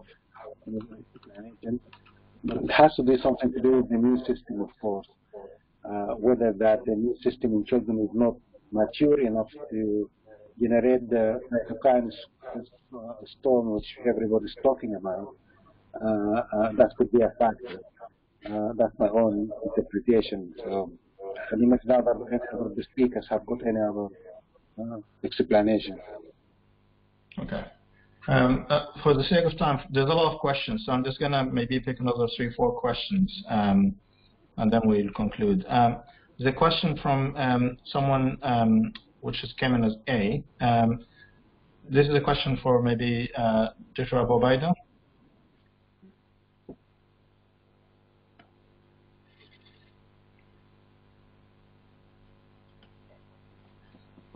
Uh, can you hear me? Yeah, Dr. Hamor, are you around? Yeah. Yeah. So, yeah. Uh, so the question is, this is someone who's saying that um, as someone who's not from the medical field, I'm worried about how long this pandemic would last and how to keep safe mentally. Um, I think for, as a clinician that you have dealt with a good number of cases at this stage, um, what's your feeling around this? Uh, this is a difficult question to answer because it very much depends on how we respond to the pandemic. As Dr. Anthony Fauci often answered this question, uh, it, if we um, uh, stick with uh, by the uh, social distancing and uh, uh, community measures that have been recommended, then we could be looking at months rather than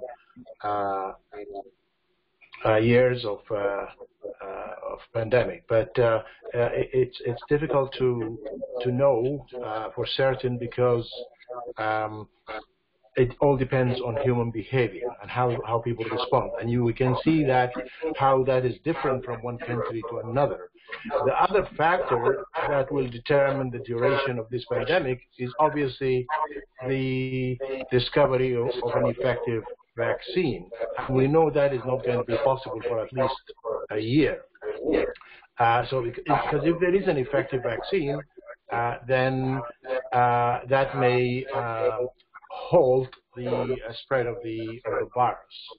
Uh, but we don't have that yet, and we're unlikely to have that this side of uh, 2021.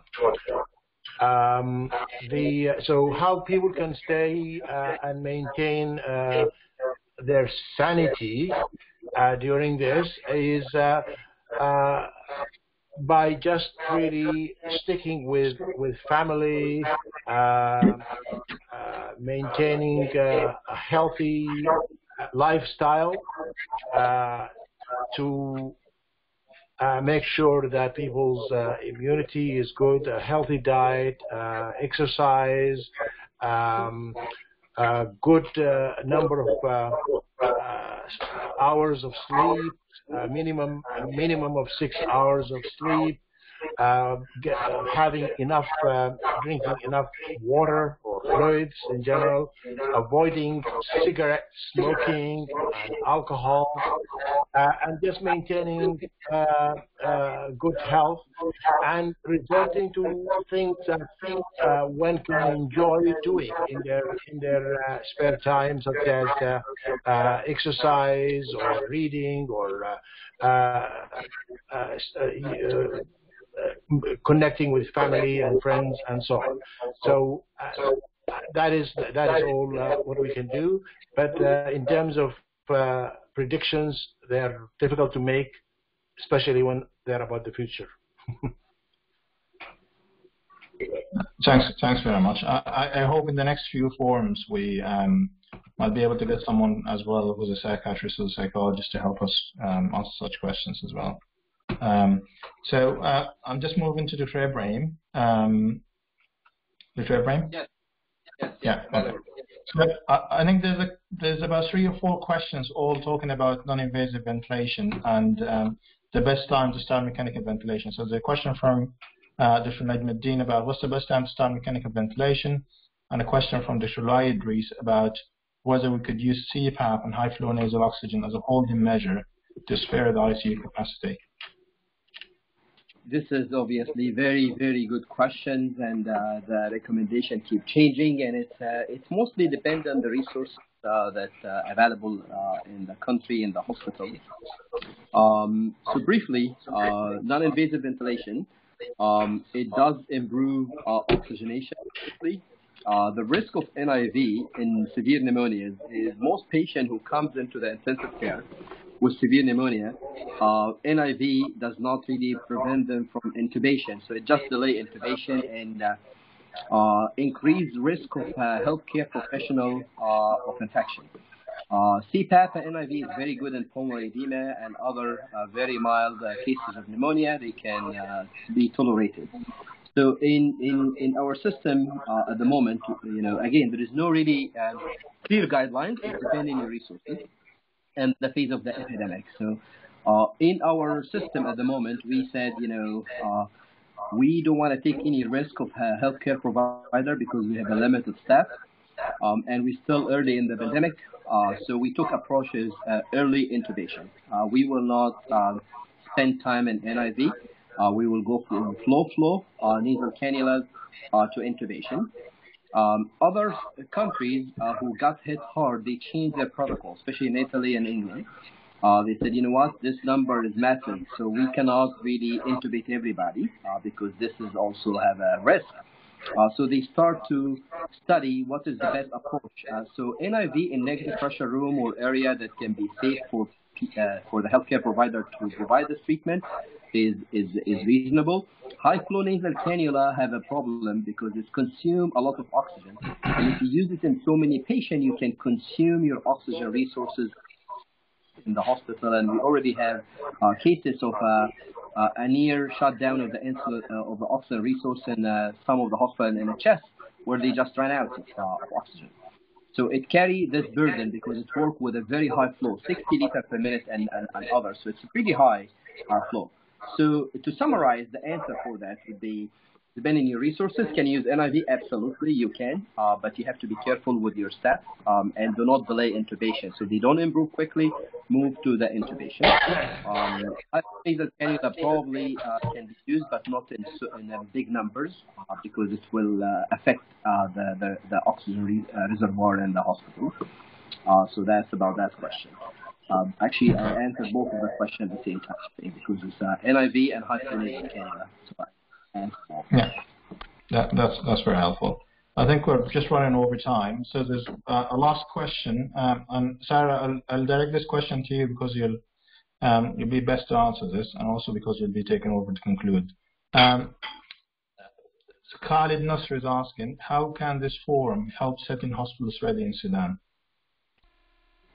Okay, uh, thank you for the question. Um, I think this forum is one of the tools that we um, can help. Uh, there's a lot of effort um, by Sudanese inside Sudan, and we have to salute them for the in, in, tremendous work they have done uh, on the ground and protocols um, and the effort of the Ministry of Health and the specialist um, sort of um, uh, groups, um, as well as the diaspora, um, not only by funding, uh, but as well logistics, ideas, uh, debate, and this is the, this forum is um, for this purpose. So we will try to have another session in about two weeks with different themes. We would hope that our colleagues uh, from Sudan will join uh, to share um, um, the protocols, the ideas, and what they would like us to um, help with. This was just like a tester so that we all uh, meet.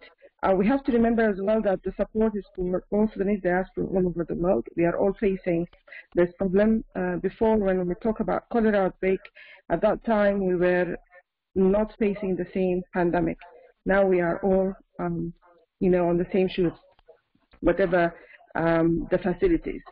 Um, I would like um, uh, to thank um, the uh, ASEIT um, team for their effort and patience and uh, the distinguished speakers who participated today uh, with us, for all of you who have uh, attended and for the valuable questions and answers, and for my colleague Shaza and Mohammed. And uh, we hope we will arrange another uh, webinar in about two weeks' time that will be led by uh, Mr. Ala Al-Malik from um, Canada, so SDU, sorry, Australia and New Zealand. Um, so thank you, everybody, and stay safe. And the last message, as Dr. Maubeda said, uh, prevention uh, is the main uh, step for dealing with this uh, pandemic. Thank you very much.